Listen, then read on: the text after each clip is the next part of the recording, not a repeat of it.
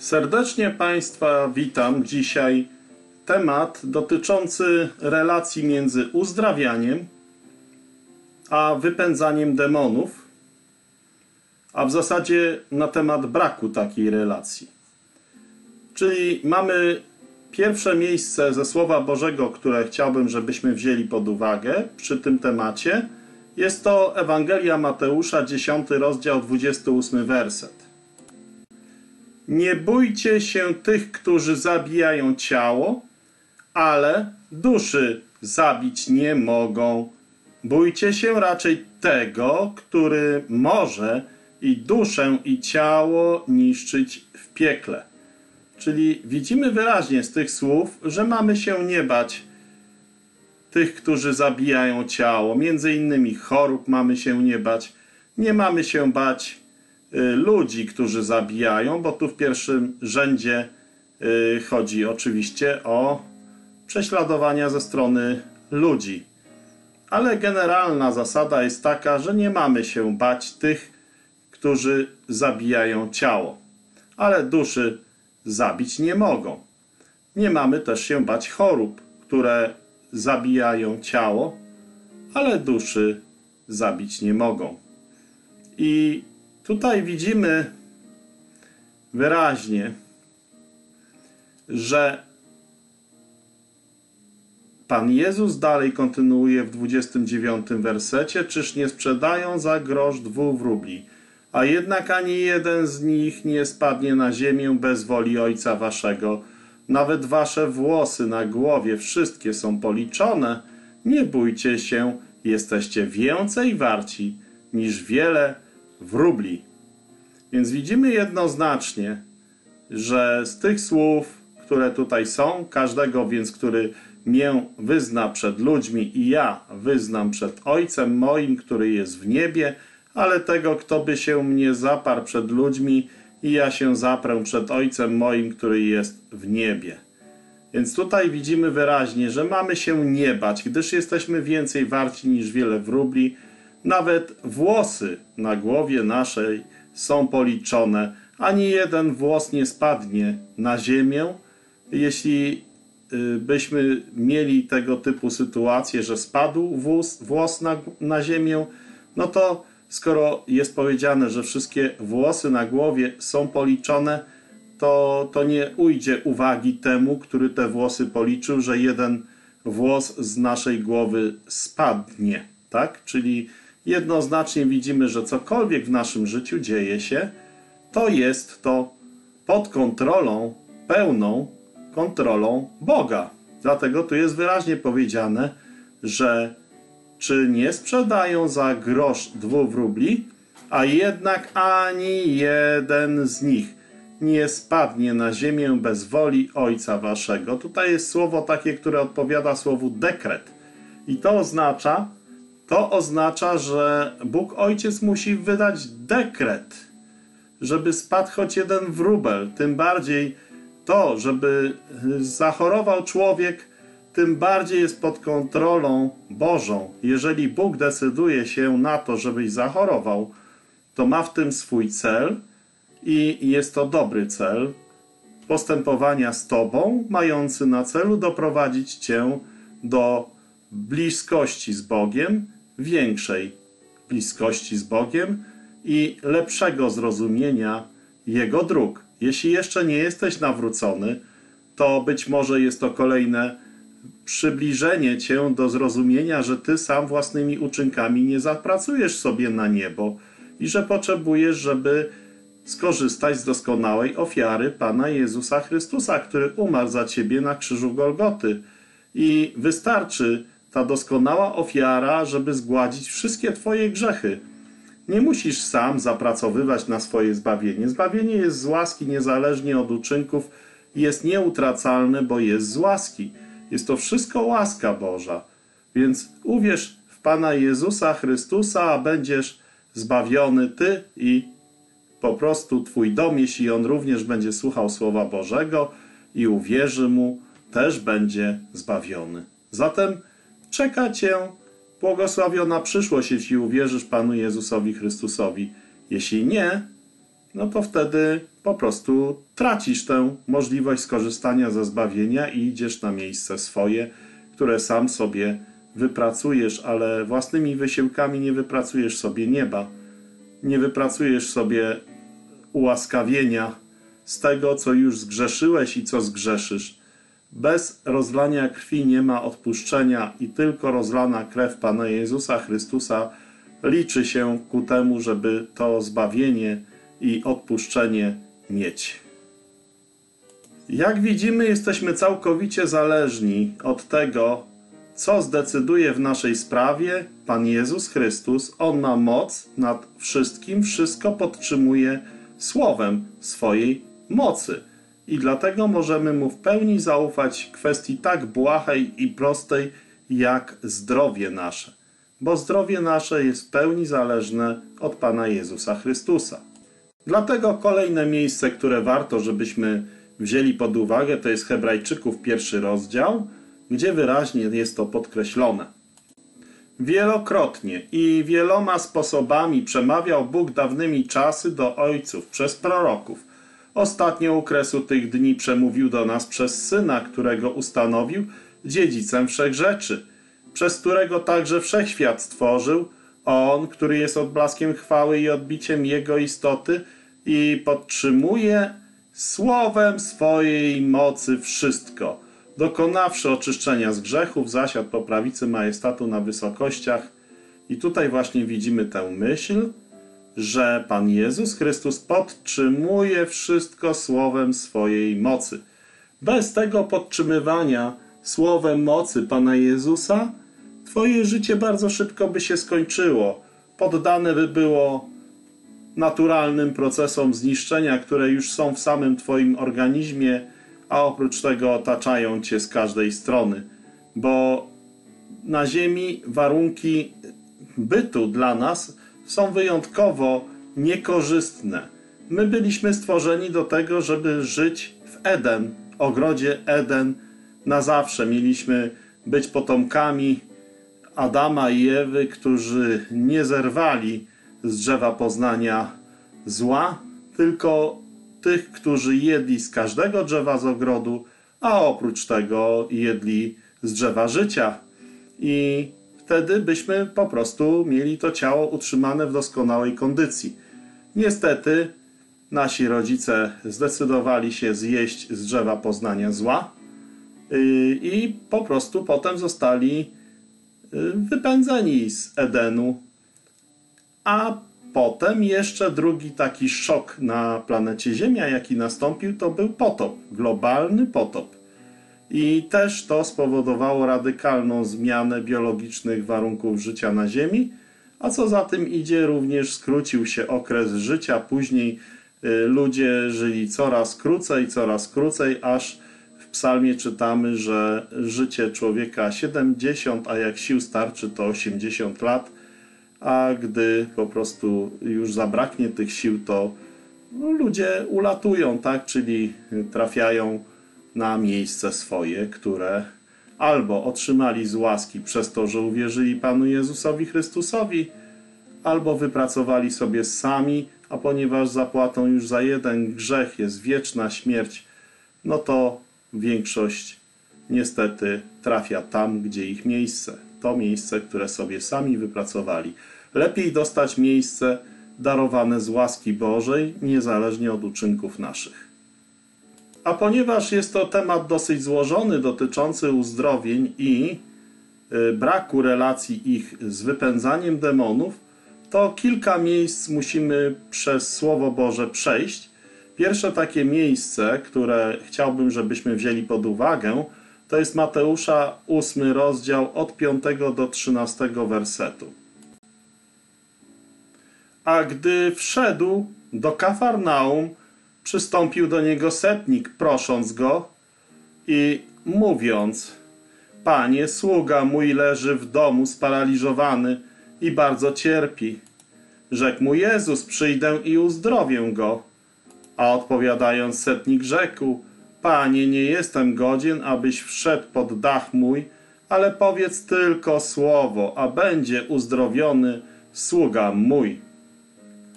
Bo i ja jestem człowiekiem podległym władzy i mam pod sobą żołnierzy i mówię temu idź, a idzie, innemu zaś przyjdź, a przychodzi i słudze swemu czyń to, a czyni. Gdy Jezus to usłyszał, zdziwił się i rzekł do tych, którzy szli za nim, zaprawdę powiadam wam, u nikogo w Izraelu tak wielkiej wiary nie znalazłem. A powiadam wam, że wielu przybędzie ze wschodu i zachodu i zasiądą do stołu z Abrahamem i z Izaakiem i z Jakubem w Królestwie Niebios. Synowie Królestwa zaś będą wyrzuceni do ciemności na zewnątrz. Tam będzie płacz i zgrzytanie zębów. I rzekł Jezus do setnika, idź, a jak uwierzyłeś, niech ci się stanie. I został uzdrowiony sługa w tej godzinie. Zatem widzimy wyraźnie, że tutaj mamy do czynienia z sytuacją, kiedy był chory sługa setnika i setnik wiedział, że wystarczy, że Pan Jezus tylko wyda polecenie i ten sługa będzie zdrowy. I tak faktycznie jest. Jeżeli jesteś chory, to zwróć się do Pana Jezusa. Jeżeli będzie wolą Pana Jezusa Cię uzdrowić, to On ma moc zrobić to natychmiast. Nawet jeżeli nie masz wiary, to możesz zwrócić się do Pana Jezusa z prośbą o to, żeby Cię uzdrowił. Natomiast możesz po prostu ważniejszą rzecz zrobić, nawrócić się, uwierzyć Pana Jezusa Chrystusa i zostać zbawionym. I to jest dużo istotniejsza kwestia, żeby Twoje grzechy były całkowicie Tobie przebaczone. A to jest możliwe na podstawie doskonałej ofiary Pana Jezusa Chrystusa, bo na Niego zostały włożone wszystkie Twoje grzechy. W trzech godzinach ciemności, gdy wisiał na krzyżu, został uczyniony grzechem za każdego grzesznika. I ten grzech włożony na Pana Jezusa Chrystusa został Jemu przypisany. A temu, kto wierzy w Pana Jezusa, jest przypisany sprawiedliwy stan, przypisany na podstawie tego, że sprawiedliwość Chrystusa jest przypisana takiemu grzesznikowi, który uwierzył Bogu i zostało mu to poczytane ku usprawiedliwieniu. Zatem uwierz Bogu, uwierz Panu, a będzie ci to poczytane ku usprawiedliwieniu. To jest dużo ważniejsze niż kwestia zdrowia i to jest w zasadzie kluczowa sprawa. Jeśli jeszcze nie jesteś pewien zbawienia, bo zbawienie jest wieczne, nieutracalne, niezależne od pracy grzesznika, całkowicie oparte na doskonałym dziele, na doskonałej pracy, na doskonałym wykonanym dziele Pana Jezusa Chrystusa, który na krzyżu Golgoty umarł za nasze grzechy. Kolejne ciekawe miejsce to jest Mateusza, 9 rozdział, od 20 do 22 wersetu. A oto niewiasta, która od 12 lat cierpiała na krwotok, podeszła z tyłu i dotknęła się kraju szaty jego. Mówiła bowiem do siebie, bylebym się tylko dotknęła szaty jego, będę uzdrowiona. A Jezus obróciwszy się i ujrzawszy ją, rzekł, ufaj córko, wiara twoja uzdrowiła cię i od tej chwili niewiasta była uzdrowiona. To, co tutaj widzimy, to jest właśnie sytuacja, kiedy na podstawie tego, że ktoś wie, że Jezus Chrystus ma moc, skorzystał z tej mocy i został uzdrowiony.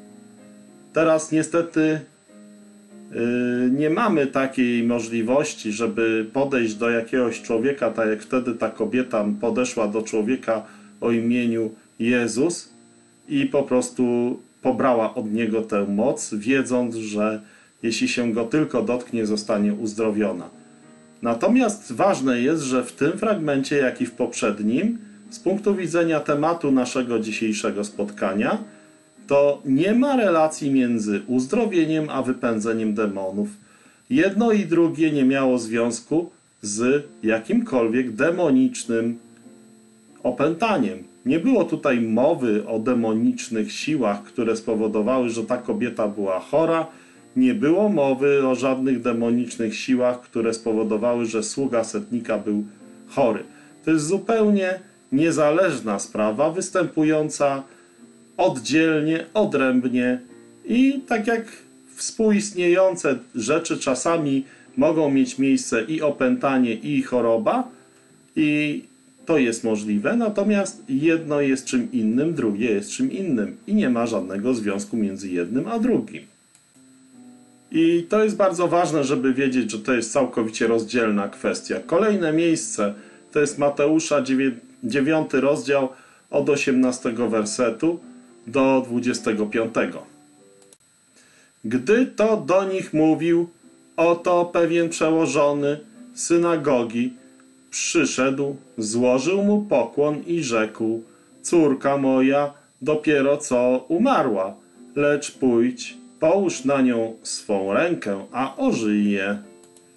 I wstał Jezus i poszedł za nim wraz z uczniami swoimi. A dalej przeskok, dlatego że tu jest o tej niewieście, o której przed chwilą czytaliśmy. I dalej czytamy od 23 wersetu. A gdy przyszedł Jezus do domu przełożonego i ujrzał flecistów oraz giełkliwy tłum, rzekł: Odejdźcie, bo nie umarła dziewczynka, lecz śpi. I naśmiewali się z niego. A gdy wygnano tłum, wszedł i ujął ją za rękę i wstała dziewczynka. Zatem widzimy znowu, nie ma żadnego tutaj związku z demonicznym opętaniem. Po prostu dziecko zachorowało i objawem tego było zaśnięcie, utrata przytomności.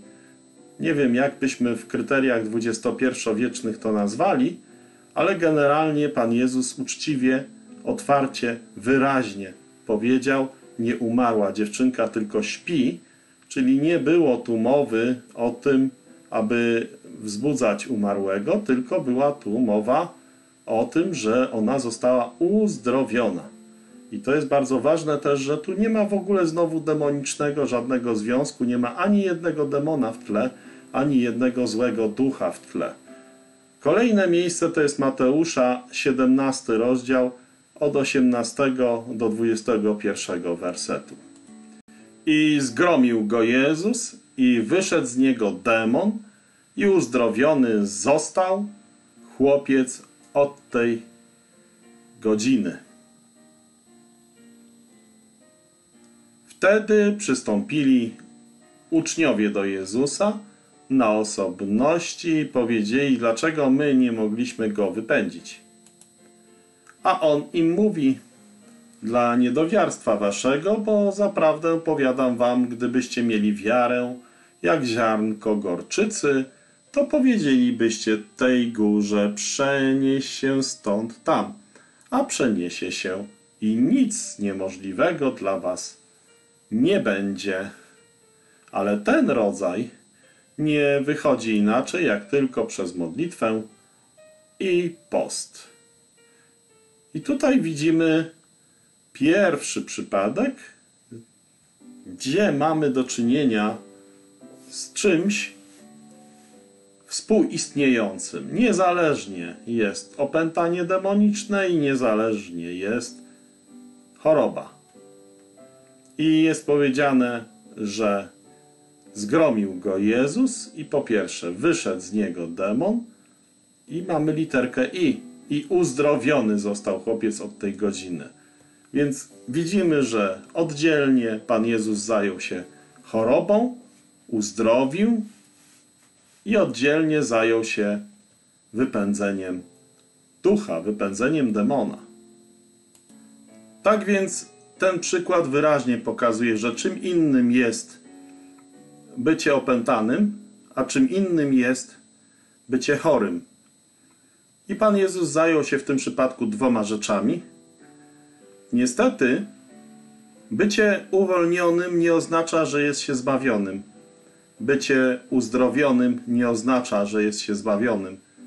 Może być tak, że ktoś został uzdrowiony albo wypędzone zostały z niego demony, ale ta osoba i tak trafi na wieki wieczne do jeziora ognistego, bo zamiast skorzystać z tego, że na niej się dokonały dzieła Boże, to zatwardzi swoje serce i nie nawróci się do Pana Jezusa i umrze jako niewierzącą, niewierząca osoba.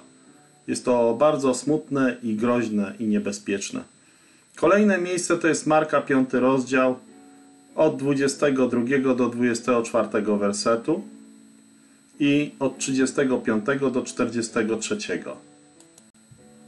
I przyszedł jeden z przełożonych synagogi imieniem Jair, a ujrzawszy go, czyli pana, do pan, ujrzawszy Pana Jezusa, przypadł mu do nóg i błagał go usilnie, mówiąc: Córeczka moja kona, przyjdź, włóż na nią ręce, żeby odzyskała zdrowie i żyła.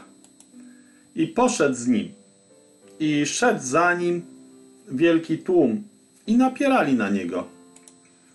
A niewiasta, która od dwunastu lat miała krwotok i dużo ucierpiała od wielu lekarzy i wydała wszystko, co miała, a nic jej nie pomogło, przeciwnie, raczej jej się pogorszyło, gdy usłyszała wieści o Jezusie, podeszła w tłumie z tyłu i dotknęła szaty Jego.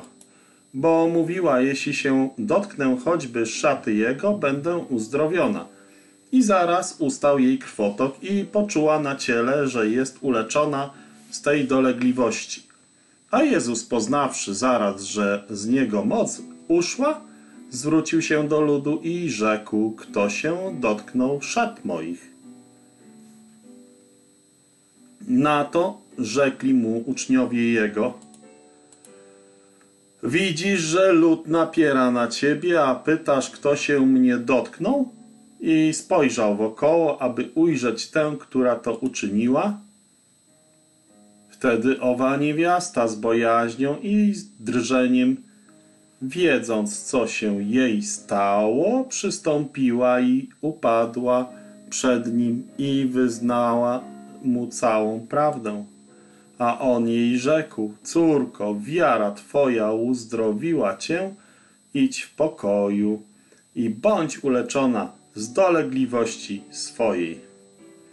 A gdy jeszcze mówił, nadeszli domownicy przełożonego, synagogi i donieśli, córka twoja umarła.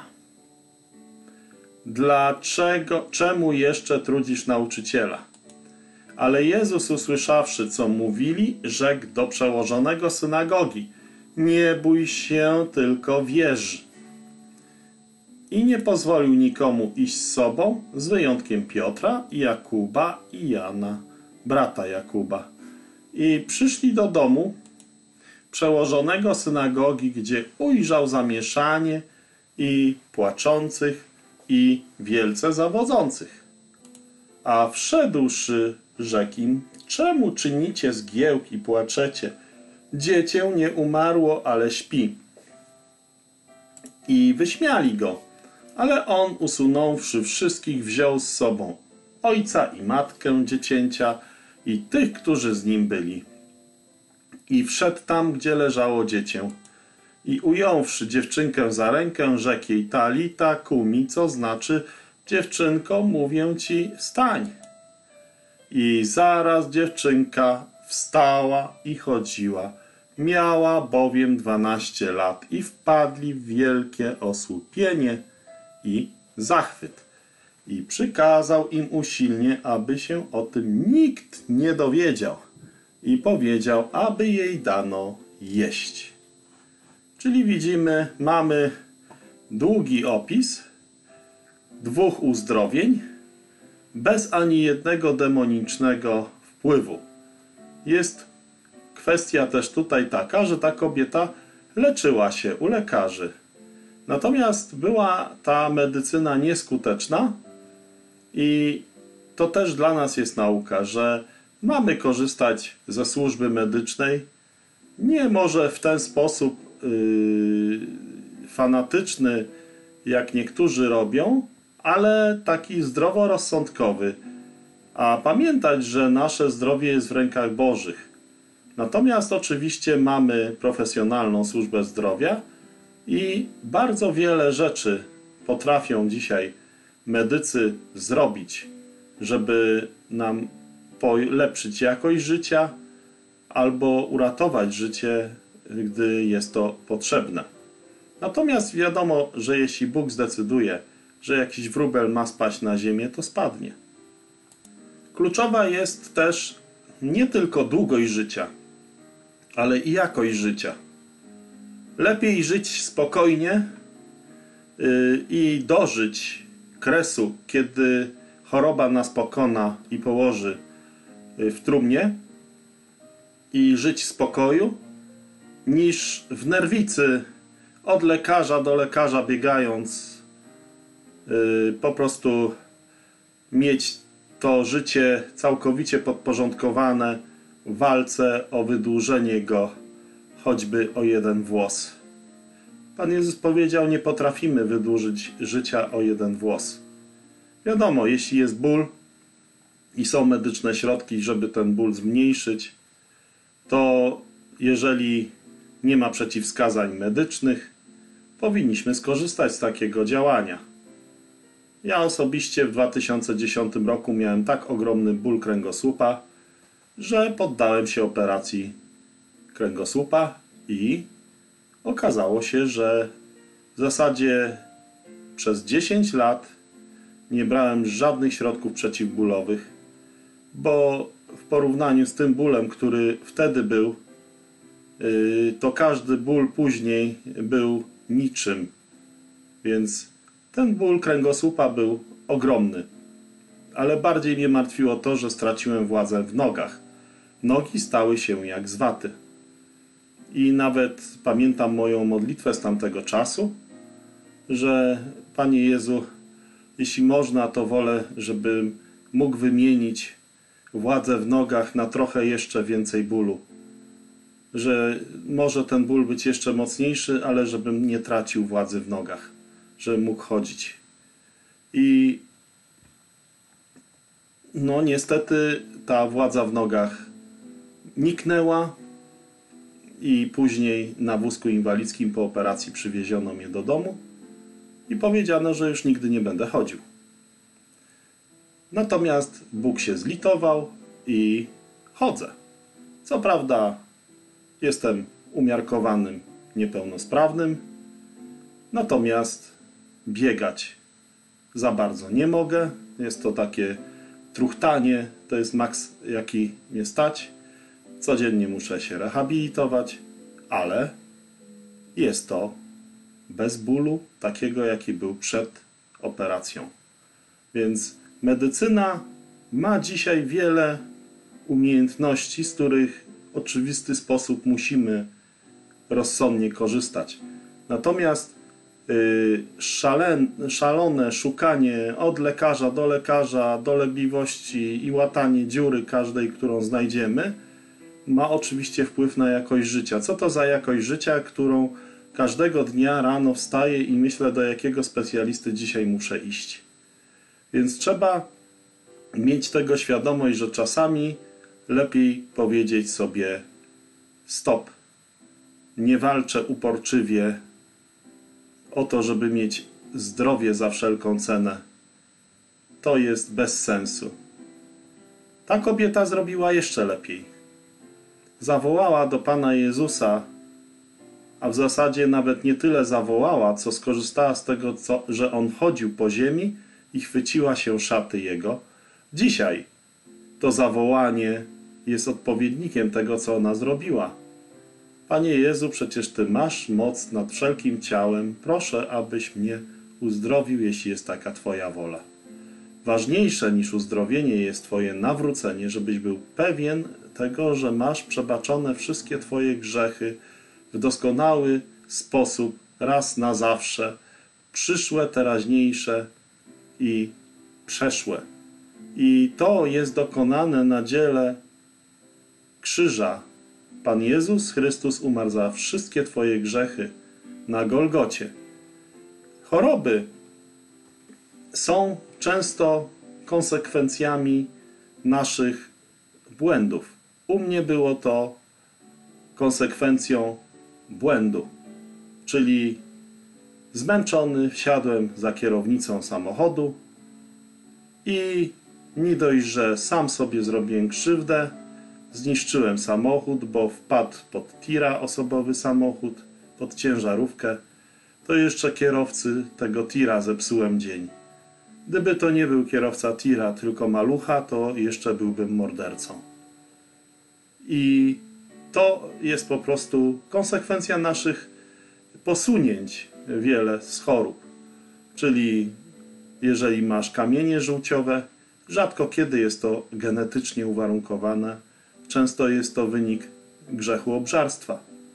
Jeśli masz yy, spalony żołądek z Helicobacter pylori albo innymi patogenami, to jest konsekwencja tego, że nie dbałeś o higienę najczęściej i lekceważyłeś Słowo Boże, które regularnie w wielu miejscach zachęca nas do umiarkowanego korzystania z tych dóbr, które Bóg nam dał do spożywania. Wiele chorób bierze się z tego, że lekceważymy po prostu zdrowo rozsądkowe zasady wypływające ze Słowa Bożego. I nie możemy mieć do nikogo pretensji, jak tylko i wyłącznie do siebie. Część chorób wynika z działania grzesznego innych ludzi, czyli na przykład gdybym ja uderzył małego Fiata tym samochodem, to mój grzech mógłby może nie zabić kogoś, ale uczynić go chorym. Albo zabić kogoś i uczynić chorym członków rodziny tej osoby, którą bym zabił, przez to, że ja sobie lekceważąco podszedłem do kwestii bezpiecznej jazdy. Więc tutaj jednoznacznie są to grzechy innych wpływające na nas albo nasze własne grzechy. Na co może się uskarżać człowiek, dopóki żyje? Niech się uskarża na własne grzechy. To jest bardzo częste źródło, choć nie jedyne. Są też inne źródła, między innymi ważne źródło, takie gdy Bóg zsyła ostry obłęd na kogoś, opętanie, tak jak na Nebukadnezara, ponieważ ktoś nie słuchał Ewangelii i nie chciał słuchać Słowa Bożego i to zatwardzał swoje serce i wtedy, tak jak Nebukadnezar, miał po prostu ostry obłęd. Także człowiek ten stracił kontrolę nad swoimi zmysłami na 7 lat. Kolejne miejsce to jest Marka 22 rozdział. E, przepraszam, Marka 8 rozdział od 22 wersetu. Ewangelia Marka 8 rozdział. I przybyli do Betsaidy i przyprowadzili do niego ślepego i prosili go, czyli Pana Jezusa, i prosili go, aby się go dotknął, czyli aby się dotknął tego ślepego. A on, czyli Pan Jezus, wziął ślepego za rękę, wyprowadził go poza wieś, splunął w jego oczy, włożył nań ręce i zapytał go, czy widzisz coś. A ten, przejrzawszy, rzekł, spostrzegam ludzi, a gdy chodzą, wyglądają mi jak drzewa. Potem znowu położył ręce na jego oczy, a on przejrzał i został uzdrowiony i widział wszystko wyraźnie. I odesłał go do domu jego, nakazując tylko do wsi. Nie wchodź. Widzimy tutaj wyraźnie, że znowu jest uzdrowienie z choroby bez wypędzania demonów, bo tej kwestii demonicznej tutaj po prostu Pismo Święte nam nie sygnalizuje. Jest to odrębna kwestia. Choroby nie mają podłoża demonicznego, są czasami współtowarzyszące demonicznemu działaniu. Kolejne miejsce jest miejscem z Ewangelii Łukasza, siódmy rozdział, od drugiego wersetu. A sługa pewnego setnika, bardzo przez niego ceniony, zachorował i bliski był śmierci. A usłyszawszy o Jezusie, posłał do niego starszych żydowskich, prosząc go, by przyszedł i uzdrowił jego sługę. A oni przyszedłszy do Jezusa, prosili go usilnie, mówiąc: Godzien jest, abyś mu to uczynił. Miłuje bowiem lud nasz i sam zbudował nam synagogę. A Jezus poszedł z nimi, a gdy już był niedaleko domu, setnik posłał przyjaciół i kazał mu powiedzieć: Panie, nie trudź się, nie jestem bowiem godzien, abyś wszedł pod dach mój, dlatego i samego siebie nie uważałem za godnego, by przyjść do ciebie, lecz powiedz słowo, a będzie uzdrowiony sługa mój. Bo i ja jestem człowiekiem podległym władzy, mającym pod sobą żołnierzy i mówię temu idź, a idzie, a innemu przyjdź, a przychodzi, a słudze memu czyń to, a czyni. A gdy to Jezus usłyszał, zdziwił się i zwróciwszy się do towarzyszącego mu ludu, rzekł: Powiadam wam, nawet w Izraelu tak wielkiej wiary nie znalazłem. A ci, którzy byli posłani po powrocie do domu, zastali sługę zdrowym. Czyli widzimy tutaj, że sługa ten nie wiemy, czy był wierzący, czy nie czy chciał być uzdrowiony, czy nie. Znaczy, uzdrowiony pewnie chciał, ale nie wiadomo, czy chciał być uzdrowiony przez Jezusa. Nic nie wiemy o stanie tego sługi. Jego wiara nie była w ogóle tematem. Tutaj został uzdrowiony na słowo Pana Jezusa w wyniku interwencji jego tutaj przełożonego, czy sługa to też określenie na niewolnik, więc może to był niewolnik tego żołnierza, a może był to sługa wynajmowany za pieniądze. Generalnie nie wiemy. Wiemy, że ten setnik interweniował, prosił Pana Jezusa i tylko jego wiara jest tutaj wymieniana. To pokazuje, że nie mają prawa twierdzić zwodziciele, którzy dzisiaj podają się za uzdrowicieli, a nimi nie są, że y, nie uzdrowili kogoś dlatego, że temu komuś brakowało wiary to nie ma żadnego znaczenia, nie ma żadnego związku. Wiara uzdrawianego nie jest potrzebna do tego, by był on uzdrowiony. To nie ma żadnego znaczenia. Często jest to po prostu nadużywane przez tych zwodzicieli, że oni próbują właśnie mówić: A, ty za mało wierzyłeś. No, chwileczkę. Tutaj masz przykład zwodzicielu, że nie ma żadnego związku. Ten sługa nawet nie jest tutaj podmiotem, jest przedmiotem uzdrowienia. Więc to jest bardzo ważne, żebyśmy nie dali się zwieść różnego rodzaju manipulantom. Także nie widzimy tu nic wspólnego z demonicznymi wpływami. On po prostu został uzdrowiony, bo był chory. Zachorował i został uzdrowiony. Kolejne miejsce to jest Łukasza ósmy rozdział, 27 do 39 wersetu. A gdy wyszedł na ląd, Pan Jezus, zabiegł mu drogę pewien mąż z miasta, który był opętany przez demony i od dłuższego czasu nie nosił odzienia i nie, miał, nie mieszkał w domu, lecz w grobowcach. A gdy ujrzał Jezusa, z krzykiem padł przed nim i donośnym głosem zawołał: Cóż ja mam z Tobą, Jezusie, synu Boga Najwyższego? Proszę Cię, nie dręcz mnie. Gdyż nakazywał duchowi nieczystemu, by wyszedł z tego człowieka, od dłuższego bowiem czasu szarpał nim, a choć go wiązano łańcuchami i trzymano w pętach, on rwał te więzy, a demon pędził go na pustynię. Zapytał go więc Jezus, jak ci na imię, a ten rzekł – legion, gdyż wiele demonów weszło w niego i prosiły go, aby im nie nakazywał odejść w otchłań. A było tam duże stado świń pasące się na górze i prosiły go, aby im pozwolił w nie wejść. I pozwolił im. Gdy demony wyszły z tego człowieka i weszły w świnie, rzuciło się całe stado z urwiska do jeziora i utonęło – Pasterze zaś, zobaczywszy, co się stało, uciekli i donieśli o tym w mieście i po wioskach. Ludzie wyszli zobaczyć, co się stało i przyszli do Jezusa i zastali tego człowieka, z którego demony wyszły, przyodzianego i przy zdrowych zmysłach, siedzącego u stóp Jezusa i zlękli się. A ci, którzy to widzieli, odpowiedzieli im, jak został uzdrowiony ten opętany, i prosiła go cała ludność okolic gerazeńskich, aby odszedł od nich, gdyż ogarnął ich wielki strach. Wtedy on wsiadł do łodzi i zawrócił. A mąż ten, z którego wyszły demony, prosił go, by mógł być z nim.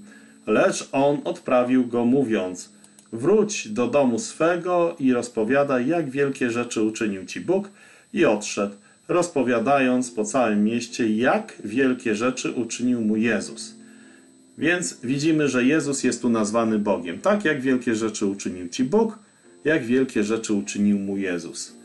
I teraz widzimy jednoznacznie, że jest tutaj opętany człowiek i Pan Jezus po prostu wypędził demony z tego człowieka. Jest też powiedziane, że został uzdrowiony, więc pierwsze znaczenie tego jest takie, że po prostu był chory i został uzdrowiony. A drugie znaczenie jest takie, że po prostu te demony wpływały na jego szaleńcze myśli i potem był przy zdrowych zmysłach, stąd uzdrowiony został. Nie ma tutaj żadnego powiązania między byciem opętanym przez demony, a chorobą w sensie takim, żeby jedno musiało być związane na stałe z drugim. Jedno i drugie to są zdarzenia niezależne i nie należy ich na siłę wiązać. To są po prostu rzeczy współistniejące. Dzisiaj znamy ten termin bardzo dobrze. Współistniejące, czyli ktoś ma jedną chorobę współistniejącą z drugim zdarzeniem w jego życiu. Kolejne miejsce to jest Łukasza, jeśli chodzi o ósmy rozdział, od 41 do 55. To jest już znana nam historia, opowiedziana tym razem przez Ewangelię Łukasza. Czyli widzimy tutaj od 41 wersetu jest przyszedł mąż imieniem Jair, który był przełożonym synagogi i padł do nóg Jezusa i prosił go, aby wstąpił do jego domu, gdyż miał córkę jedynaczkę w wieku około 12 lat, a ta umierała, a gdy on szedł, tłumy cisnęły się do niego. A niewiasta, która miała krwotok od 12 lat na lekarzy i na lekarzy wydała całe swoje mienie, a nikt nie mógł jej uleczyć, podszedłszy z tyłu, dotknęła się szatu, szaty jego i natychmiast ustał jej krwotok. I rzekł Jezus, kto się mnie dotknął, a gdy wszyscy się zapierali, rzekł Piotr, mistrzu tłumy cisną się do ciebie i tłoczą. Jezus zaś rzekł, dotknął się mnie ktoś, poczułem bowiem, że moc wyszła ze mnie. A niewiasta spostrzegłszy, że nie może, że się nie może ukryć, podeszła z drżeniem i padłszy przed nim, oznajmiła przed całym ludem, z jakiego powodu się go dotknęła. I jak natychmiast została uleczona, on zaś rzekł do niej, córko, wiara twoja uzdrowiła cię, idź w pokoju. Gdy on jeszcze mówił, nadszedł ktoś od przełożonego synagogi, mówiąc, umarła córka twoja, nie truć już nauczyciela. Jezus zaś, usłyszawszy to, odpowiedział mu, nie bój się, tylko wierz, a będzie uzdrowiona. A przyszedłszy przed dom, nie pozwolił nikomu wejść z sobą, tylko Piotrowi, Janowi, Jakubowi i ojcu i matce dziecka, a wszyscy płakali i żałowali jej. On zaś rzekł, nie płaczcie, nie umarła, lecz śpi. I wyśmiewali go, bo wiedzieli, że umarła. On zaś, ująwszy ją za rękę, zawołał głośno, dziewczynko, wstań. I powrócił duch jej i zaraz wstała, a on polecił, aby jej dano jeść. Więc tutaj widzimy taką sytuację, widzimy tutaj, w której dziewczynka została uzdrowiona. Wszyscy uważali, że ona umarła. Jest też sformułowanie, że wrócił duch do niej, czyli yy, widać jednoznacznie, że była to sytuacja taka bliska zgonu, natomiast Jezus jednoznacznie powiedział, że jeszcze nie była to śmierć. Powiedział, że ona zasnęła, czyli coś w rodzaju prawdopodobnie y, dzisiaj byśmy to medycznie być może określili jako śpiączka, bo to jest też tego typu rzecz stosowana. Yy, W praktyce, nawet jak się człowieka chorego kładzie, to się go usypia celowo, choć tutaj było to ewidentnie spowodowane jakąś chorobą. Być może o podłożu neurologicznym. Kolejne miejsce to jest Ewangelia Łukasza, 17 rozdział od 12 do 19 wersetu. Gdy wszedł do pewnej wioski, wyszło naprzeciw niego dziesięciu trędowatych mężów, którzy stanęli z daleka. I podnieśli swój głos, mówiąc: Jezusie, mistrzu, zmiłuj się nad nami. A gdy ich ujrzał, rzekł do nich: Idźcie, ukażcie się kapłanom, a gdy szli, zostali oczyszczeni.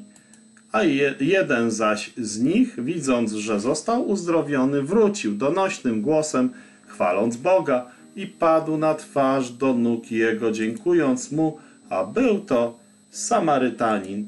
A Jezus odezwał się i rzekł, czyż nie dziesięciu zostało oczyszczonych? A gdzie jest dziewięciu? Czyż nikt się nie znalazł, który by wrócił i oddał chwałę Bogu, tylko ten cudzoziemiec? I rzekł mu, wstań, idź, wiara twoja uzdrowiła cię. Czyli widzimy, nie ma żadnych demonów, nie ma żadnego związku z opętaniem. Jest tutaj typowa kwestia zachorowania na trąd, czyli kwestia jak najbardziej medyczna, która została rozwikłana przez Pana Jezusa. Zostali oczyszczeni z tego trądu, z tej strasznej choroby. Kolejne miejsce, Ewangelia Jana, 5 rozdział, od 5 wersetu, czyli a był tam pewien człowiek, który chorował od 38 lat. I gdy Jezus ujrzał go leżącego i poznał, że już od dłuższego czasu choruje, zapytał go: Chcesz być zdrowy? Odpowiedział mu chory: Panie, nie mam człowieka, który by mnie wrzucił do sadzawki, gdy woda się poruszy. Zanim zaś ja sam dojdę, inny przede mną wchodzi. Rzecze mu Jezus: Stań, weź łoże swoje i chodź. I zaraz też, i zaraz ten człowiek odzyskał zdrowie, wziął łoże swoje i chodził. A właśnie tego dnia był sabat. To też mówili Żydzi do uzdrowionego dziś sabat, nie wolno ci nosić łoża. On zaś odpowiedział im, ten, który mnie uzdrowił, rzekł mi, weź łoże swoje i chodź. Pytali go, cóż to za człowiek, co ci powiedział, weź je i chodź. A uzdrowiony nie wiedział, kto to był, bo Jezus niepostrzeżenie oddalił się od tłumu, który był na tym miejscu. Potem spotkał go Jezus w świątyni i rzekł do niego, oto wyzdrowiałeś, już nigdy nie grzesz, aby ci się coś gorszego nie stało. Odszedł ten człowiek, i powiedział Żydom, że to Jezus go uzdrowił. I dlatego Żydzi prześladowali Jezusa, że to uczynił w sabat. A Jezus odpowiedział im, mój ojciec aż dotąd działa i ja działam. Dlatego też Żydzi tym usilniej starali się o to, aby go zabić, bo nie tylko łamał sabat, lecz także Boga nazywał własnym ojcem i siebie czynił równym Bogu. Czyli widzimy, syn jest równy Ojcu, tak? Bo jest tutaj powiedziane, że siebie czynił równym Bogu. Pan Jezus Chrystus jest odwiecznym Synem Bożym. Kolejne miejsce to jest miejsce z dziejów apostolskich, czwarty rozdział, dziewiąty werset do 23. I tu jest już kolejny punkt. Jeżeli my dziś jesteśmy przesłuchiwani z powodu dobrodziejstwa wyświadczonego człowiekowi choremu, dzięki czemu został on uzdrowiony, to niech wam wszystkim i całemu ludowi izraelskiemu wiadome będzie, że stało się to w imieniu Jezusa Chrystusa Nazareńskiego, którego wy ukrzyżowaliście, którego Bóg wzbudził z martwych. Dzięki niemu ten oto stoi zdrów przed wami. On to jest owym kamieniem odrzuconym przez was budujących. On stał się kamieniem węgielnym i nie ma w nikim innym zbawienia, albowiem nie ma żadnego innego imienia pod niebem danego ludziom, przez które moglibyśmy być zbawieni. A widząc odwagę Piotra i Jana i wiedząc, że to ludzie nieuczeni i prości, dziwili się. Poznali ich też, że byli z Jezusem. Patrząc zaś na człowieka uzdrowionego, który stał z nimi, nie wiedzieli, co odpowiedzieć. Kazali im tedy opuścić Radę Najwyższą i naradzali się między sobą. Mówiąc, cóż poczniemy z tymi ludźmi? Wiadomo przecież wszystkim mieszkańcom Jerozolimy, że dokonali oczywistego cudu i nie możemy temu zaprzeczyć, lecz aby się to między ludem jeszcze bardziej nie rozeszło, zagroźmy im, aby w tym imieniu więcej do nikogo z ludzi nie mówili. I przywoławszy ich, nakazali im, aby w ogóle nie mówili ani nie nauczali w imieniu Jezusa. Lecz Piotr i Jan odpowiedzieli im i rzekli, czy to czy słuszna to rzecz w obliczu Boga raczej was słuchać, aniżeli Boga? Sami osądźcie. My bowiem nie możemy nie mówić o tym, co widzieliśmy i słyszeliśmy. A oni zagrozili im ponownie i zwolnili ich, nie znajdując nic, za co by ich ukarać, a to ze względu na lud. Wszyscy bowiem wysławiali Boga za to, co się stało. Bo człowiek, na którym dokonał się ten cud uzdrowienia, miał ponad 40 lat. A gdy zostali zwolnieni, przyszli do swoich i opowiedzieli wszystko, co do nich mówili arcykapłani i starsi. Więc widać wyraźnie, że tutaj nie było mowy o żadnym takim zdarzeniu, które byłoby wątpliwe, gdyż zostało to nazwane oczywistym cudem. Żadnych wątpliwości. Oczywisty cud. Nie jakieś takie jak dzisiaj zwodziciele, że to nie wiadomo, czy to jest uzdrowienie, czy nie jest. Tam był cud oczywisty i nie da się temu zaprzeczyć. I tutaj jest opisany w trzecim rozdziale, szesnasty werset, pewien proces zachodzący w sercu tego człowieka przez wiarę w Jego imię, czyli w imię Pana Jezusa, wzmocniło Jego imię, czyli imię Pana Jezusa, tego, którego widzicie i znacie, wiara zaś przez Niego wzbudzona dała Mu zupełne zdrowie na oczach Was wszystkich. Czyli widzimy jednoznacznie, jest to powiązane z uwierzeniem Panu Jezusowi Chrystusowi.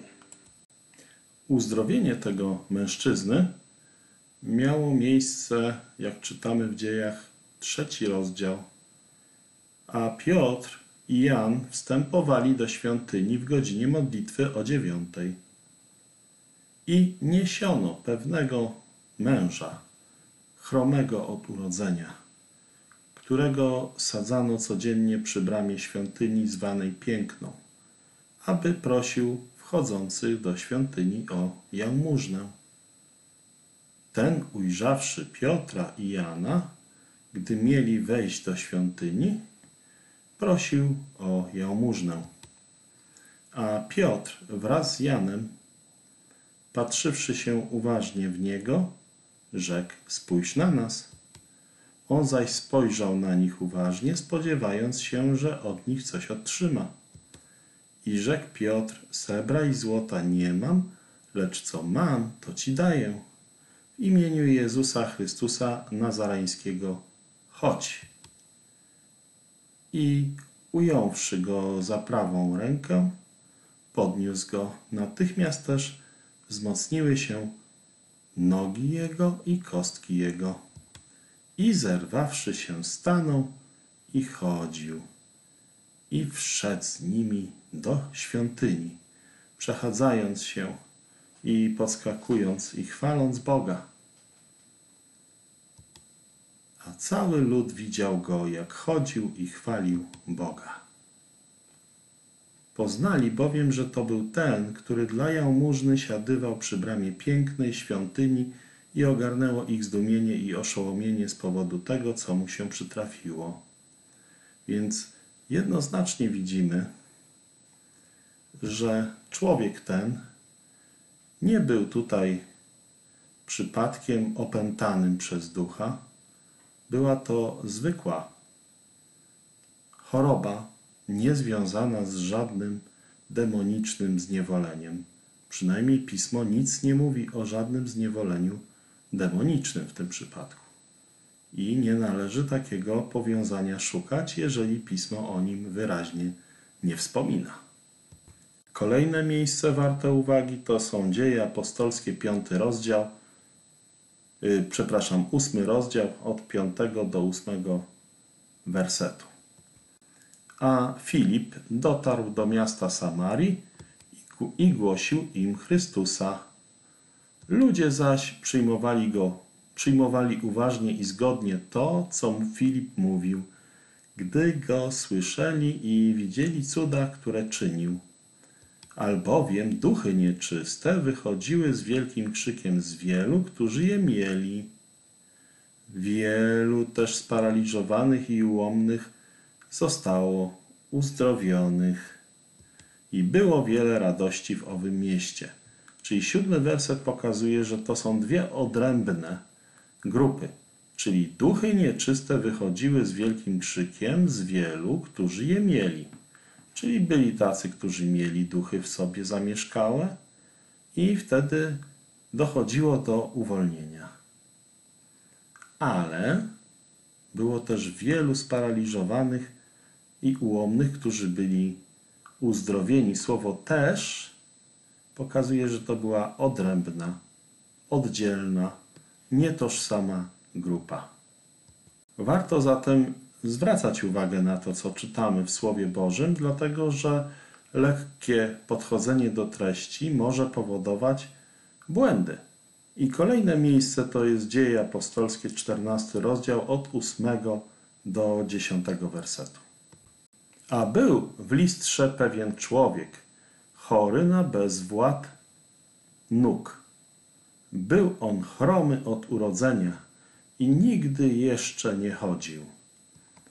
Słuchał on przemawiającego Pawła, który utkwiwszy w nim wzrok i spostrzegłszy, że ma dość wiary, aby być uzdrowiony, odezwał się donośnym głosem: Stań prosto na nogach swoich i zerwał się i chodził.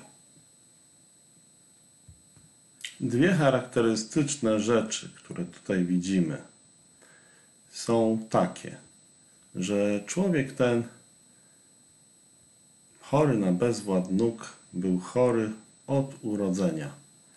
A druga rzecz,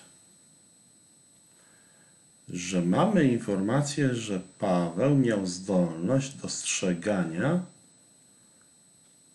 albo tego, że ta osoba ma dość wiary, aby być uzdrowionym i wtedy zadziałać, albo co jest tutaj bardzo kluczowe, że jest taki element, że wiara uzdrawianego jest tutaj użyteczna. Jak widzieliśmy wcześniej, Pan Jezus uzdrawiał wszystkich, niezależnie od tego, czy te osoby wierzyły, czy ktoś zamiast nich w ich miejsce wierzył, tak jak tych czterech, którzy sprowadzili swojego przyjaciela przez dach, albo ten sługa, który został uzdrowiony, bo jego właściciel albo pan wierzył. Więc tutaj taki element wiary jest wymieniony. Natomiast są miejsca, które pokazują, że element wiary uzdrawianego w ogóle nie jest ważny. I też może być tak, że tutaj też ta narracja jest trochę w tym kierunku, że Paweł widział, że ten chory słuchał przemawiającego Pawła. Słuchał Słowa Bożego, które było głoszone przez Pawła. I wtedy, jeżeli to weźmiemy pod uwagę, że Paweł mógł zauważyć, że temu człowiekowi uzdrowienie nie zaszkodzi, bo zauważyć mógł, że ten człowiek już wierzy w Pana Jezusa ku zbawieniu i jako wierzącemu przyda mu się również uzdrowienie, które przyspieszy proces wzrostu duchowego lub jeśli jeszcze nie był wierzący, ale był niedaleki Królestwa Bożego, to ten człowiek, będąc niedaleki Królestwa Bożego, otrzymawszy również uzdrowienie, mógł zostać zachęcony do tego, żeby pójść za Panem Jezusem. I tego nie wiemy, bo potem nie widzimy tego człowieka wśród wierzących, natomiast są tutaj jednoznacznie pewne wskazówki. Kolejne miejsce, które weźmiemy pod uwagę, to jest Mateusza, 15 rozdział, 22 do 28 wersetu. I oto niewiasta kananejska, wyszedłszy z tamtych stron, wołała, mówiąc: Zmiłuj się nade mną, panie, synu Dawida. Córka moja jest okrutnie dręczona przez demona.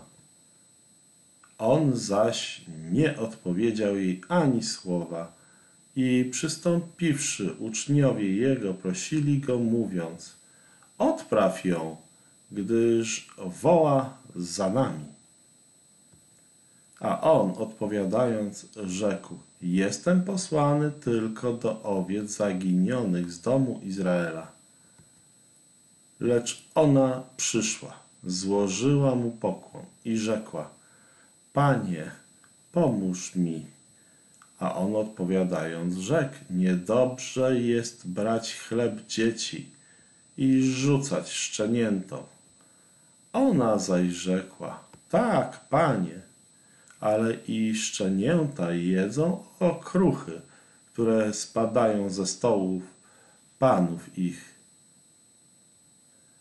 Wtedy Jezus odpowiadając rzekł do niej: Niewiasto, wielka jest wiara Twoja.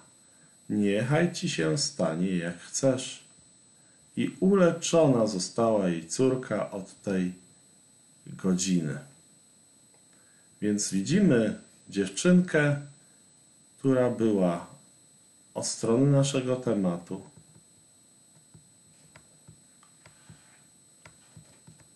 Okrutnie dręczona przez demona.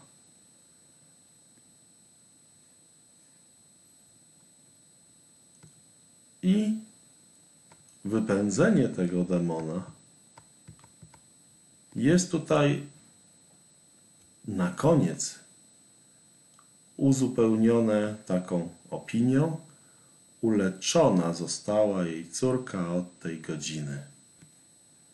Więc jest tutaj i choroba wywołana przez okrutne dręczenie przez demona i też jest element demoniczny, czyli dwa w jednym. Jest to bardzo Y, taki fragment nadużywany przez tych, którzy chcą udowadniać, że zawsze choroba jest związana również z opętaniem demonicznym, co nie jest prawdą, gdyż to są dwa przypadki współistniejące.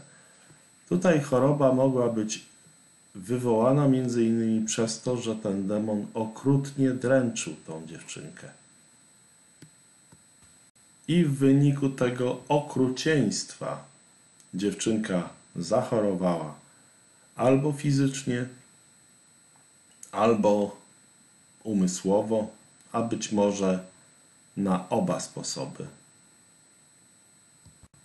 Ważne jest też, aby zauważyć, że uzdrowienie i wypędzenie demona, albo wypędzenie demona i uzdrowienie nie zabiera tutaj zbyt wiele czasu w przypadku Pana Jezusa. Gdy On chce, to po prostu informuje i nie ma jakiejś szarpaniny, nie ma jakiejś kłótni.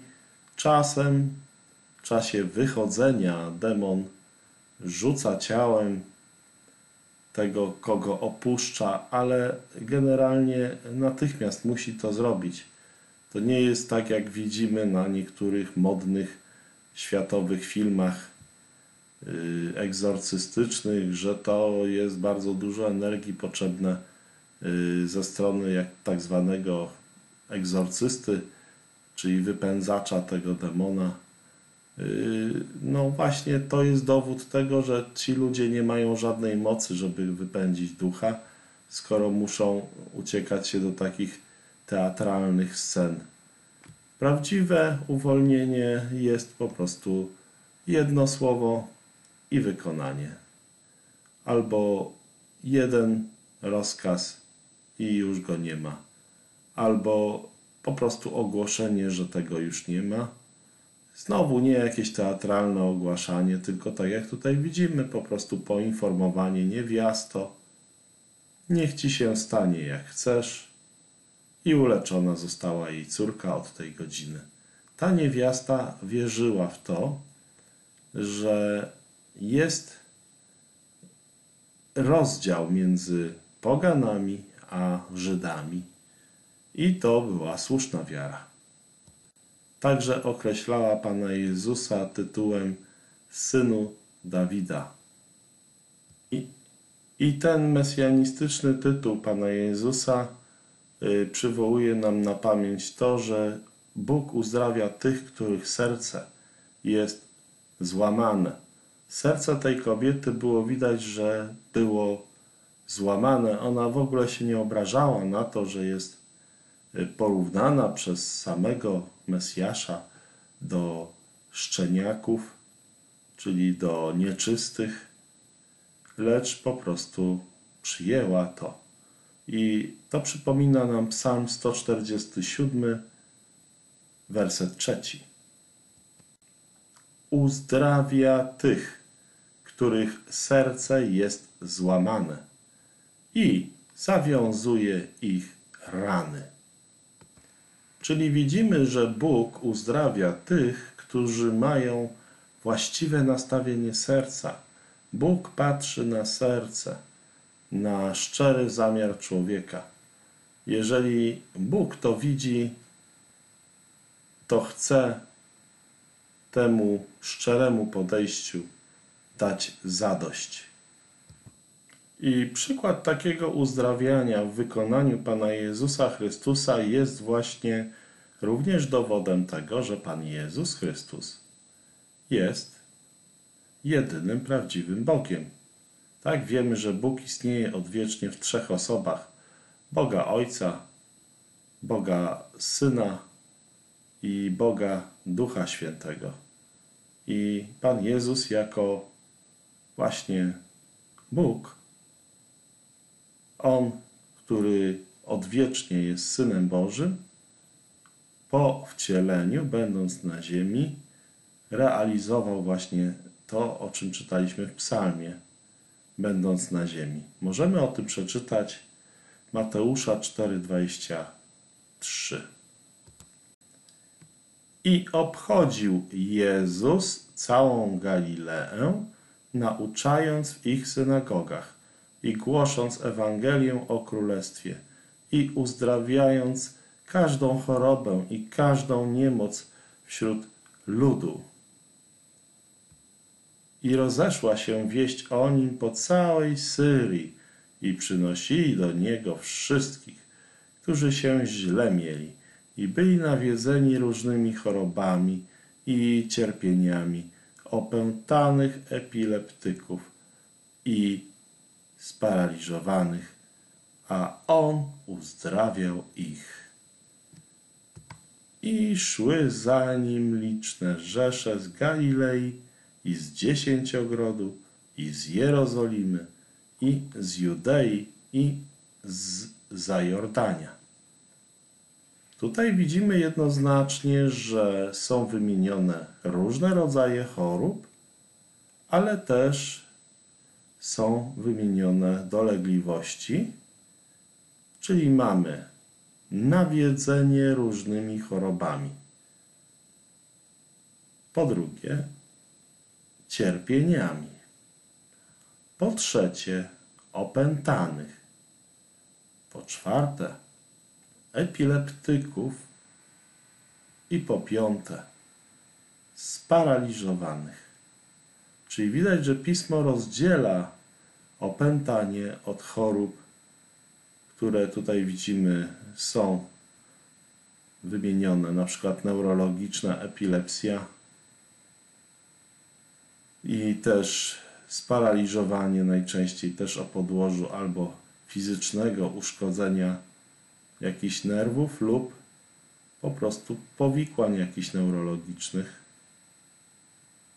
Cierpienia, czyli takie, które są związane z bólem, jak i choroby, po prostu choroby, nie nazwane tutaj z imienia, ale wymienione, że różne. Więc mamy wyraźne słowo, że opętanie to co innego, a co innego to choroby. Czasami ktoś miał równolegle chorobę, również równolegle cierpiał ból na przykład, albo miał inne cierpienia niż ból, miał dodatkowo demona w środku, miał oprócz tego neurologiczne powikłania, epilepsję, a być może równolegle miał jakiś paraliż, na przykład ręki albo nogi. Więc tutaj to jest możliwe współistnienie, ale nie wolno mieszać opętania z chorobami. Oczywiście z tego wszystkiego człowiek nie potrafi medycznie poradzić sobie z opętaniem. Próbujemy teraz jakoś leczyć epilepsję. Czasami udaje się uleczyć paraliż. Czasami przez rehabilitację udaje się usprawnić jakąś kończynę. Czasami ten paraliż wynika z jakiegoś uszkodzenia, które w wyniku operacji da się naprawić. Są tutaj różne choroby, które my też różne choroby umiemy medycznie potraktować tak, żeby zmniejszyć dolegliwości, a czasami nawet pomóc organizmowi zwalczyć chorobę. I cierpienia, no mamy leki przeciwbólowe różnego rodzaju. Natomiast na opętanie człowiek nie ma nic. Jest to całkowicie duchowa kwestia. I dlatego jest dużym błędem, jeżeli ktoś nie leczy rzeczy, które medycznie możemy leczyć, a na siłę przypisuje im podłoże duchowe.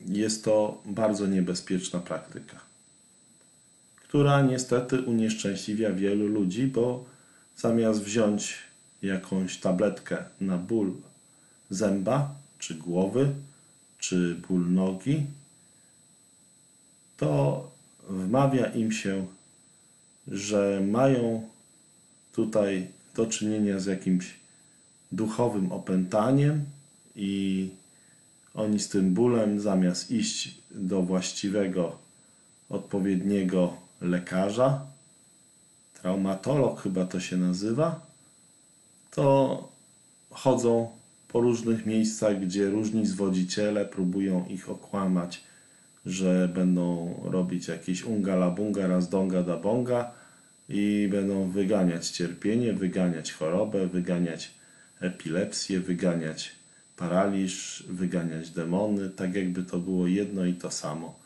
ale to nie jest jedno i to samo. Także bardzo ważne jest, żeby zauważyć, że w tych wszystkich miejscach ten, który ma prawo uzdrawiać, po prostu uzdrawia to albo słowem wypowiadanym, albo słowem pomyślanym, albo tak szybko, jakby to było nawet bez takiego pomyślenia o tym, tylko po prostu zgodzenie się na to, żeby ktoś był uzdrowiony. I widzimy tego przykład w Mateusza, 8 rozdział, 16 werset. A gdy nastał wieczór, przywiedli do niego wielu opętanych, a on wypędzał duchy słowem i uzdrawiał wszystkich, którzy się źle mieli. On wypędzał duchy słowem i uzdrawiał wszystkich, którzy się źle mieli.